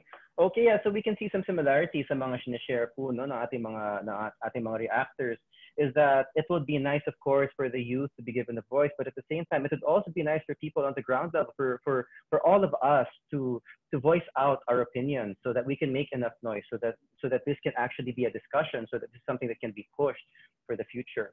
Okay, and at, at the same time, we want to encourage that political will, then hopefully that our leaders can make the right decisions, and hopefully that they have that, that political will to make what is necessary and what is appropriate pass para po sa ating lahat. Okay, and so ngayon naman po, uh, we would love to hear naman, so thank you very much to our SK representatives. Ngayon naman po sa, para sa ating mga city representatives, we would like to ask you, is this something your office will support or pass? Will they pass it with revisions or will they not support or pass it? So we would love to hear from you. Let's hear from Attorney Cherry Kanda Melodias, City Director from Department of Interior and Local Government of Makati. Attorney Cherry, you are on. Hi. Good afternoon.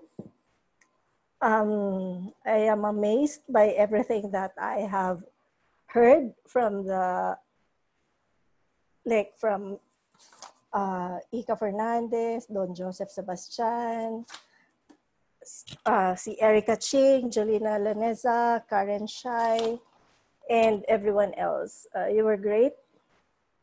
Um, I agree that, ah, tingnan niyo, may notes ako. I agree that the youth should be involved in planning, like get them involved in actual programs of the government.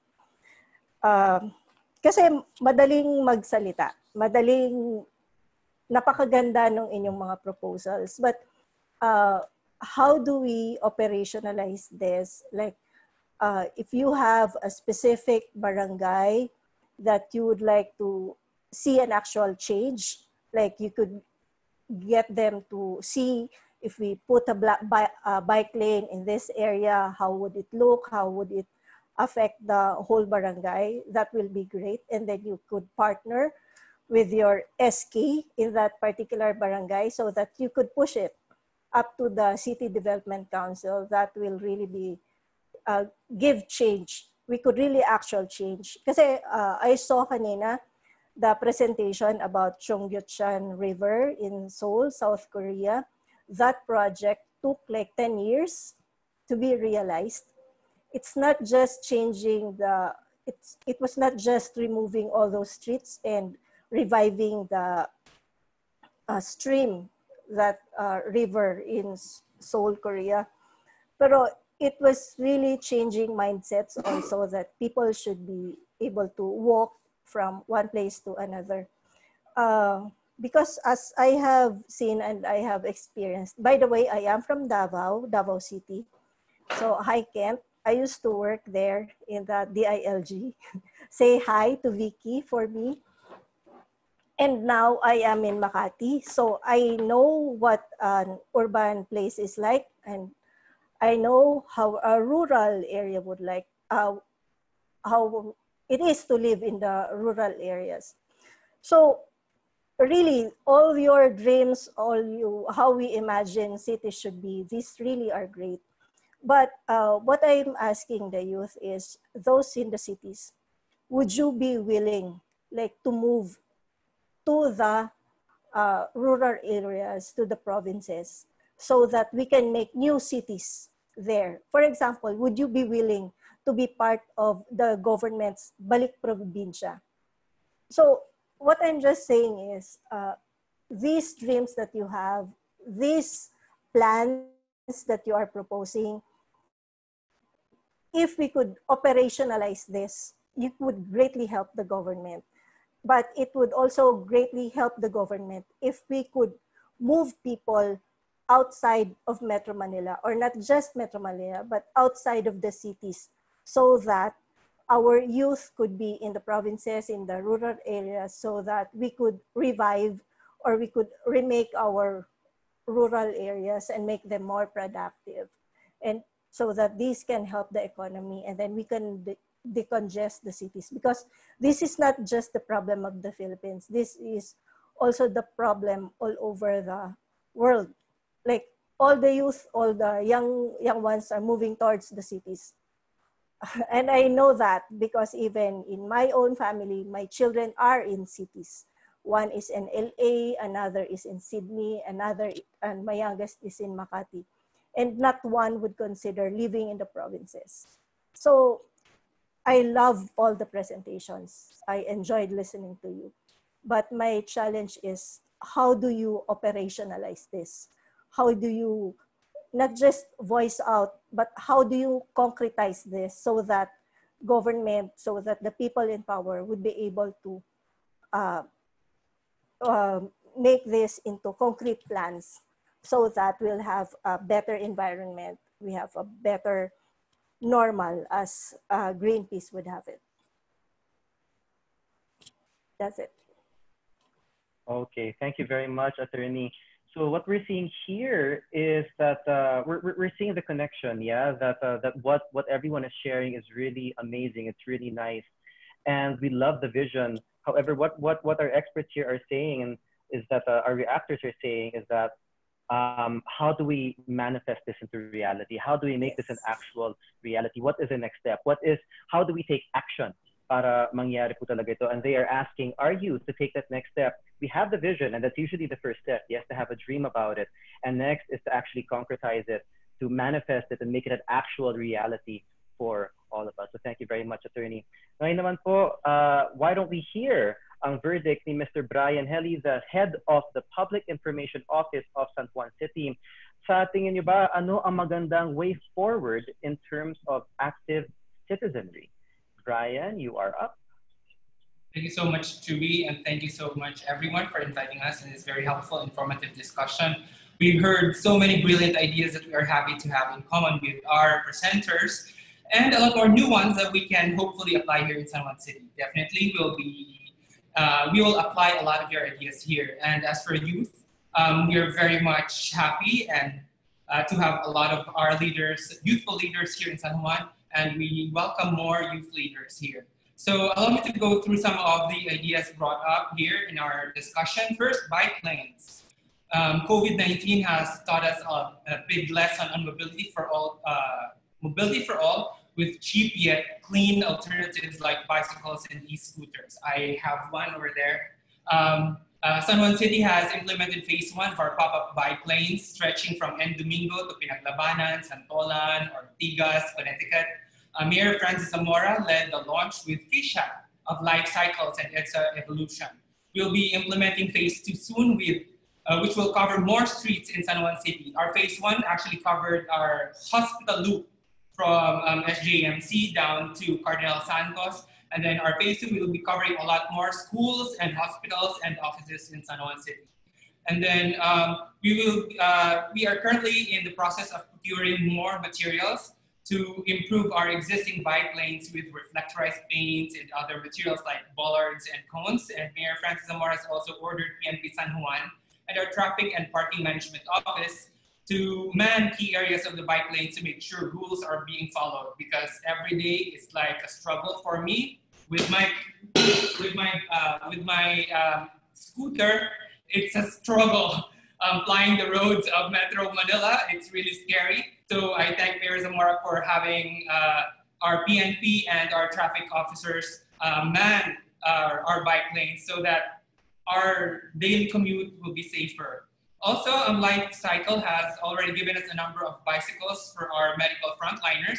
Mayor Zamora has promised to provide 100 more to our City Hall employees to encourage them to use bicycles for cleaner mobility and healthier lifestyle, as what um, uh, Erica has pointed out, and also Keisha. And uh, before COVID-19, we were already planning to implement walking, uh, walking, bike, and e-trike tours here in the city. Once tourism is given a go signal, we will push through with the, plan by hiring unemployed women in our city to be our tour guides. So um, we provide them uh, uh, uh, a really, really good source of income, but we also uh, provide our tourists a cleaner option uh, when we tour around the city. Jolina and Don mentioned about sustainable lifestyle and green cities, uh, reimagining green and sustainable city. Um, we are very open to that and we welcome that. In fact, San Juan City has already started doing that. We recently finished the Living Museum of Philippine Native Trees at the Pinaglabanan Shrine together with the UP Phi Delta Alpha Sorority Alumni Association, the Overseas uh, Workers Welfare Administration, and Green Convergence. We planted over 100 native trees in the area where everyone can appreciate nature's endemic gifts to the Philippines. And then before COVID-19, we were also uh, uh, in talks with some organizations and exploring possibilities of aquaponics and other methods for urban gardening. This is hitting two birds with one stone. In fact, several birds in, uh, with one stone, um, because aside from it being an environmental endeavor, it is also for food security um, of our constituents and livelihood for our unemployed and for the women organizations in the city. Um, we were also, we were also looking into um, clean source of energy here in San Juan City. Um, before COVID, we were on exploratory talks on possible conversion of our city hall's power source to solar. Um, if you, there are people listening over there um, with, working for a solar uh, provider, solar company, energy provider, um, you are welcome to talk. Uh, come here, visit uh, San Juan, we can talk because um, we would like to install um, solar panels for the City Hall and also for our 21 barangays, our covered courts, and all our 12 schools.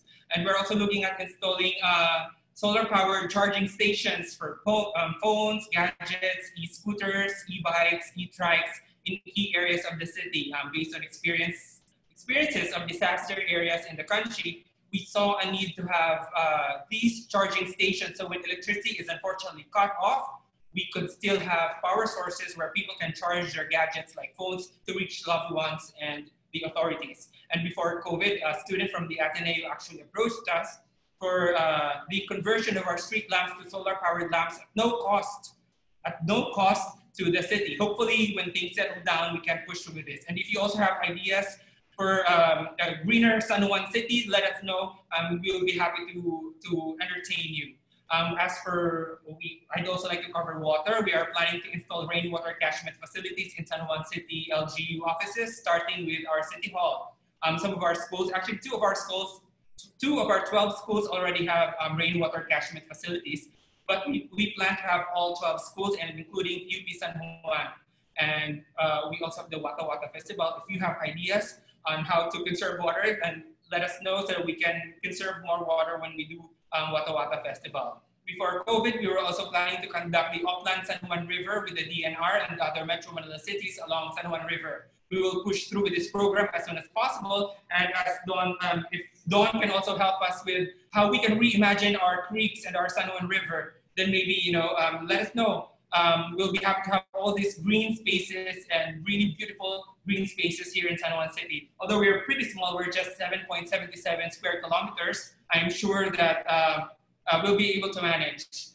And um, who else? Well, Ica Fernandez of Ur Urbanismo, she, she, mentioned about mobility and food, food security and then housing for the poor. We're actually building a 20, uh, two 22-story buildings, um, socialized public housing um, for our um, uh, informal settlers here in San Juan. So uh, hopefully we can help our constituents with uh, the public housing that we offer them.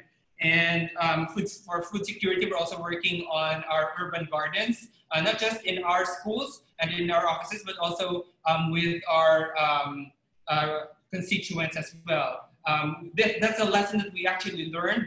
Um, we learned from uh, COVID-19 for food security. You know, although we did provide um, food, family food packs for 10 straight weeks, we we realized that you know uh, people should also be given the option of having their own gardens at home. Uh, maybe they can have their aquaponics and um, whatever is possible in urban in an urban setting. And um, I think Dazzle and Karen also spoke about um, youth leadership. Um, we actually um, some of the new leaders here in San Juan are from the youth sector. So we're very happy to be working with our um, seniors and our ates and kuyas here in San Juan City. And we're actually very active in our land use program, in our CIDRA, in our gender and development programs, environment, tourism, social welfare, and transportation. But of course, we welcome more youth in San Juan City to help us out and thinking brilliant, brilliant ways and how we can actually make San Juan City not just a smart city, but a green city as well. So um, we have so many more ideas and programs that we want to implement in San Juan City to make it not just a smart city, but also a green one. If you have ideas and programs that you think would be of great help to our city and would be great for the environment, let us know. We'll be very happy to collab collaborate for the good of our people and for nature, of course. Thank you very much. Okay, thank you very much, Mr. Brian. So thank you for sharing the progressive updates of San Juan City. That was very nice to hear. Okay, uh, punta naman po tayo sa level ng national government. But before that, we would like to remind everyone, please, we're going to have to extend for just another 10 more minutes.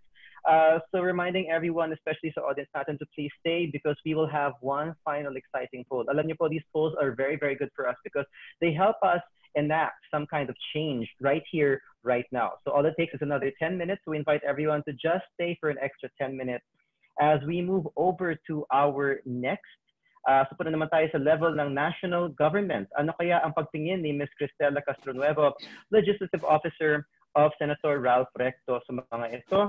So Ms. Cas, uh, Ms. Cristela, we have five to six minutes. You are on. Hi, Chubby. Hello, everyone. Um, good afternoon, and thank you, Greenpeace, for inviting me again. Um, it was an informative first session last Monday, and uh, as usual, this is a very exciting and informative session for me as a technical staff working on national policies. So let me zero in first um, uh, to a few comments uh, on our presenters, um, specifically the bike lanes of Miss Erica. So as far as national um, policies are concerned, the discussion with regard to the use of bike lanes has long been there. But the sad reality is that we have minimal progress as far as crafting uh, of a national policy is concerned. But with the pandemic that we had, um, the, the situation was really a push to have a more aggressive debate on the need to institutionalize the use of bikes and having the infrastructure um, corresponding to the use of bicycles. Um, Erica mentioned um, Bicycle Act of 2010. That was long ago. That was in the 15th Congress, and now we're on the 18th Congress. And then we also have this Pedestrian Safety Act in 2013. And right now, as um, a measure born out of the COVID-19 pandemic is the Safe Pathways Act. So like I mentioned, um, before the opening up of our economy, bikes were basically used as a form of mobility in buying goods for our household, for our family. But as we slowly opened up our economy, we're in, um, we go back to doing our jobs. Um, bikes has now been equated to jobs and so, at a certain extent, the absence of which for workers and for our fellow Filipinos would mean joblessness. So, therefore, it is important that we push for the institu- institutionalization of this program these days. No bike, no work, because there are no available public transportation out there.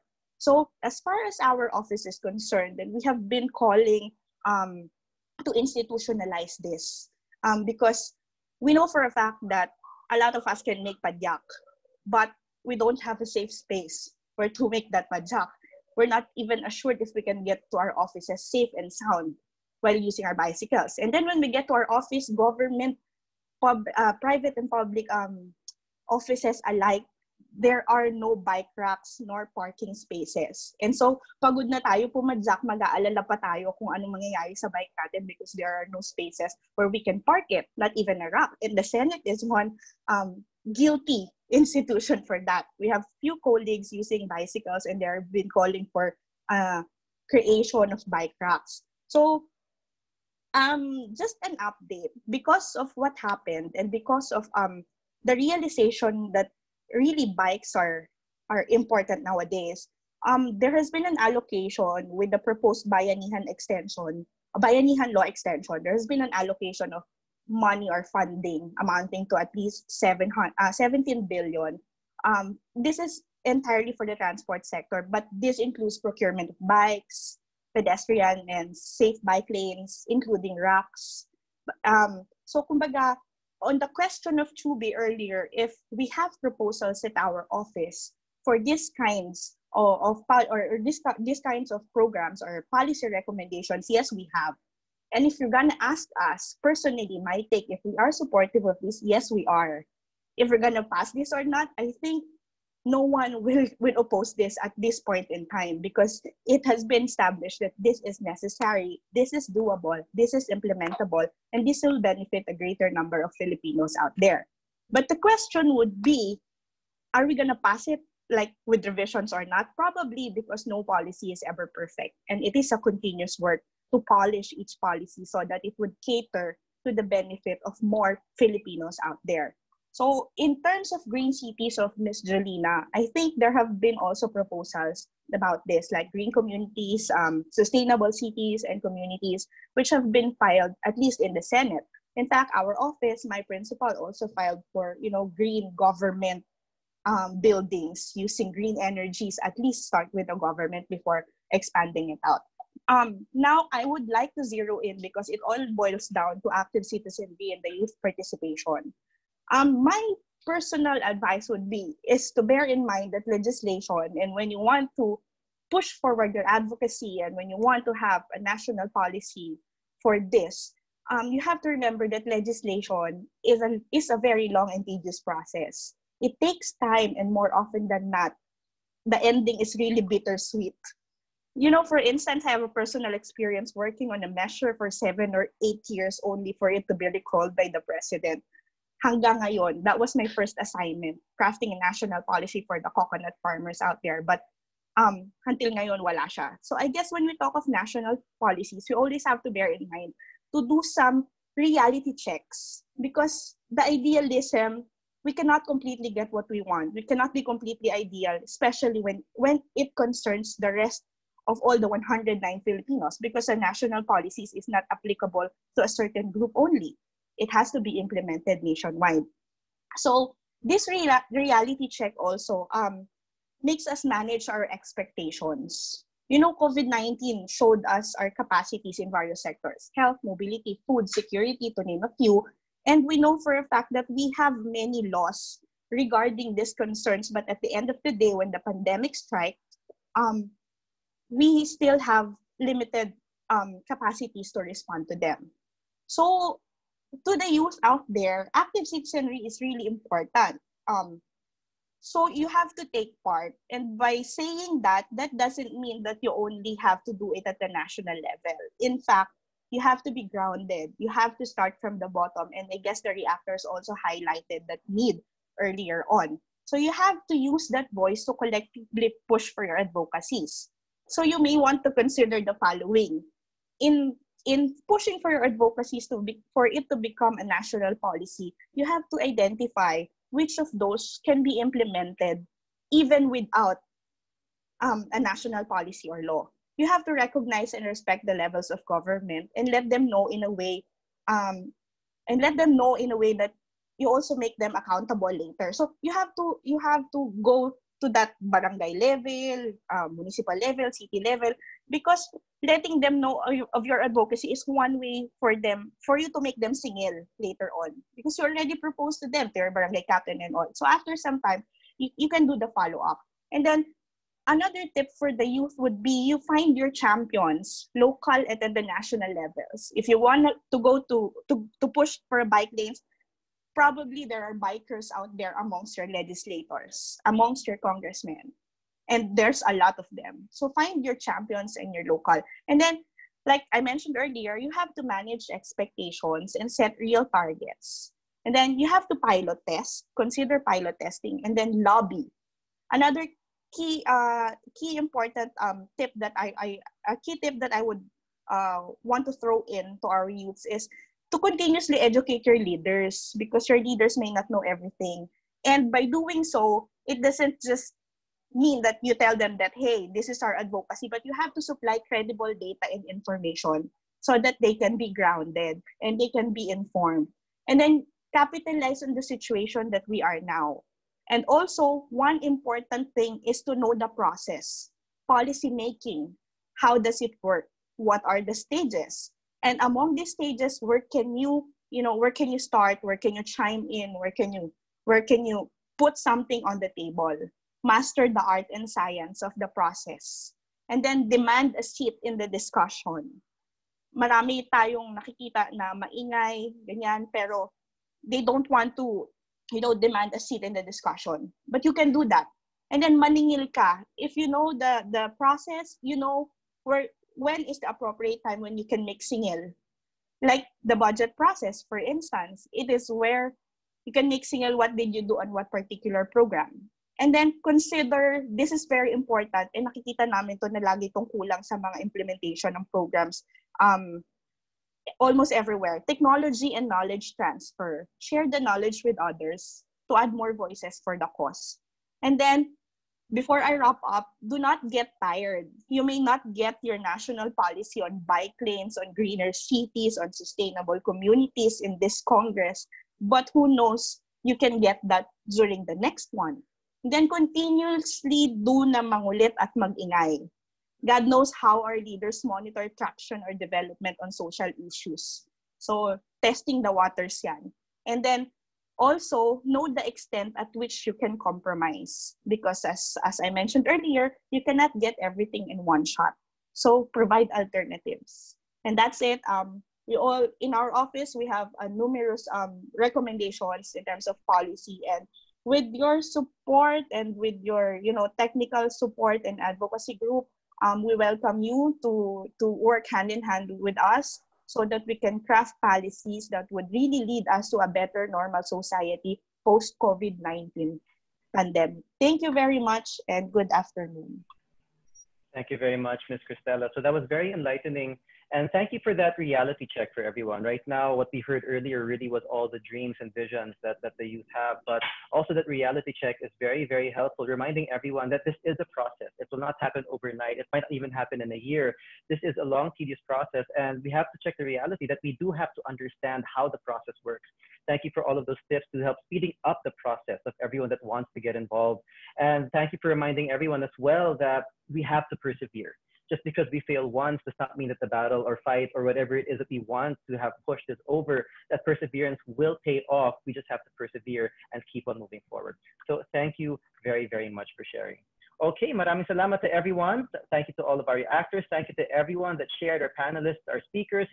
And we're very, very happy to hear from all of you. Maraming maraming salamat po sa inyong lahat. Ngayon naman po, we want to entertain questions from our audience. Thank you for sticking around. This has been a very, very good conversation we've been having over here. For our Q&A portion, I would like to turn you over to RJ Pesador Maliari of Greenpeace to read our question. RJ?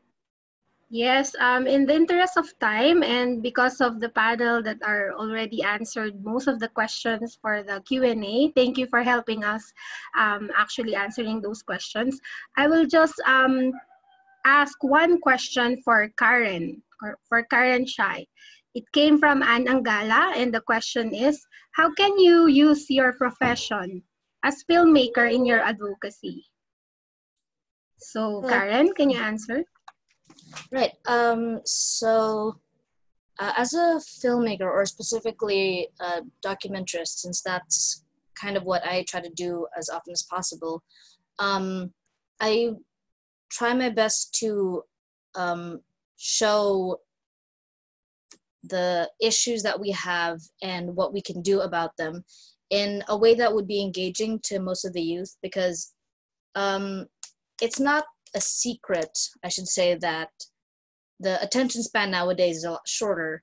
And yeah, uh, people want to be engaged. And especially with the onset of social media, it's kind of like uh, no matter how many videos you put out there, if they're too long and they're too boring, nobody's going to really care about them. So um, combining what I know uh, from how from when I studied marine biology plus my uh, profession in film, I want to reach as many people as possible using especially Facebook and YouTube as a platform because it is a fact that Filipinos are the top Facebook users in the world. So we could use that to our advantage. That is the, I think that would be the best way for me to use my expertise or, or my profession in film to aid in my advocacy for sustainability. Yeah, that's all. Okay. Thank you very much, Karen. All right. So thank you, Karen. Thank you for uh, thank you for answering our Q and A. Uh, as mentioned by RJ, we only have time for one question right now because we are moving. Ito na pinaka-exciting part ng ating online show. This is our online scorecard. And the purpose of this is for us to rank community and LGU initiatives in addressing the COVID-19 and if we agree that this is what our city needs moving forward. So here are the instructions, everyone. We will be flashing pictures of best practices related to the issues that we've been discussing. And you will rank the picture if you want this in your city. Okay, once again, this is a uh, once again, this is a poll and all you have to do is just click in. All right, so we're gonna be flashing pictures. And the very first one is protected and integrated bike lanes. Okay, so again, just click in your answer over there. Yes, do you want it in your city? Are you not sure or do you not want it? So, okay, so protected and integrated bike lanes. Okay, now our next question is urban forests, green spaces where people, where all of us can enjoy.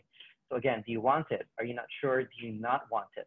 So we had long discussions about these earlier about the benefits of, of urban forests and green spaces. So just simply click in your answer over there. And finally, our third one is youth and citizens participating in decision making. Yes, a lot of our actors established and mentioned earlier how important it is for youth and citizens to actually take action, to actually take action and to persevere towards getting or towards uh, towards the appropriate uh, change that we want to see happen. So do you want it? Are you not sure? Or do you not want it? So again, just type in, click in your answers, and we will have our polls soon. Okay, again, we would love to hear from all of you. This is a discussion. This is a discussion towards healthy change para po sa ating lahat. So we're going to be mentioning our winners as soon. Oh, and they're here. They're here. Okay, tingnan po natin. Okay, number one is protected and integrated bike lanes. 100% of you said yes, yes, you want it in your city. You want it in your municipality. That is great to hear. Number two, urban forests, green spaces. 100% of you said yes. 100% of you said yes. I think this is this is great news para po sa ating lahat. And regarding the last one, regarding youth and citizens participating in decision making, 97% of you said that you do want it. And 3% of you said that as of the moment, you are not sure. So thank you so much again, everyone. Thank you for our engaging audience. Maraming salamat sa inyong participation. And thank you to everyone that joined in as well today we are very, very grateful. And that was the last part of our program. Alam niyo po, that was a lot of information that we heard here today. That is a lot to think about.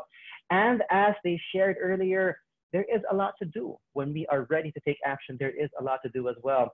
We've had a lot of policy recommendations, and with the help of our youth leaders, our partners from various groups and the government. Uh, for the next steps, Greenpeace will process everything and will reach out again to these stakeholders to make sure that these will be pushed towards a better normal. Once again, a reminder as well, hashtag better normal. Do feel free to, to post these on your social media feeds. And again, this is not the last time that we will discuss these issues. In fact, this conversation series is just one of the first steps. So that wraps up Utak Verde. We want to say thank you once again, everyone, for joining in. Utak Verde conversations on green and sustainable lifestyles. We hope this session helped you rethink your personal habits. Again, 1% change can make a world of difference, and we can start now. So we hope this helped you rethink your lifestyles as well and reimagining how our cities could look like in the potential near future. Most importantly, what you as a citizen can contribute in achieving livable and sustainable cities. And now before we go, we invite you all to join the call for a hashtag better normal. By signing the petition, you will find a link. The link is act.gp slash better normal. And you should find the link somewhere there. It should be flashed on your screen and you can sign the petition right there. We invite everyone as well to, to move forward with the call towards the hashtag better normal. Feel free to post on your walls, post on your feeds and post on your stories, what can we do to contribute to a better normal? Again, as was mentioned earlier, it is that collective voice that can really spark change para po sa ating lahat. So feel free to hashtag what is your better normal and what can you do to influence and to help towards a better normal. Once again, everyone, we would like to thank our guests. Maraming salamat sa inyong time. Maraming salamat. Thank you very much for sharing your expertise with all of us. And to our audience, to everyone else, catch our next webinar. This is called Moving Towards a Healthy, Just, and Green Recovery. This will be one week from now on June 17 to be aired via Zoom and YouTube. Okay. So ayun lamang po, inviting everyone to turn on their videos. And that is the time that we have for today. Thank you so much, everyone. Thank you to all of our viewers. Thank you, everyone. Goodbye. Stay safe and God bless folks. Thank you.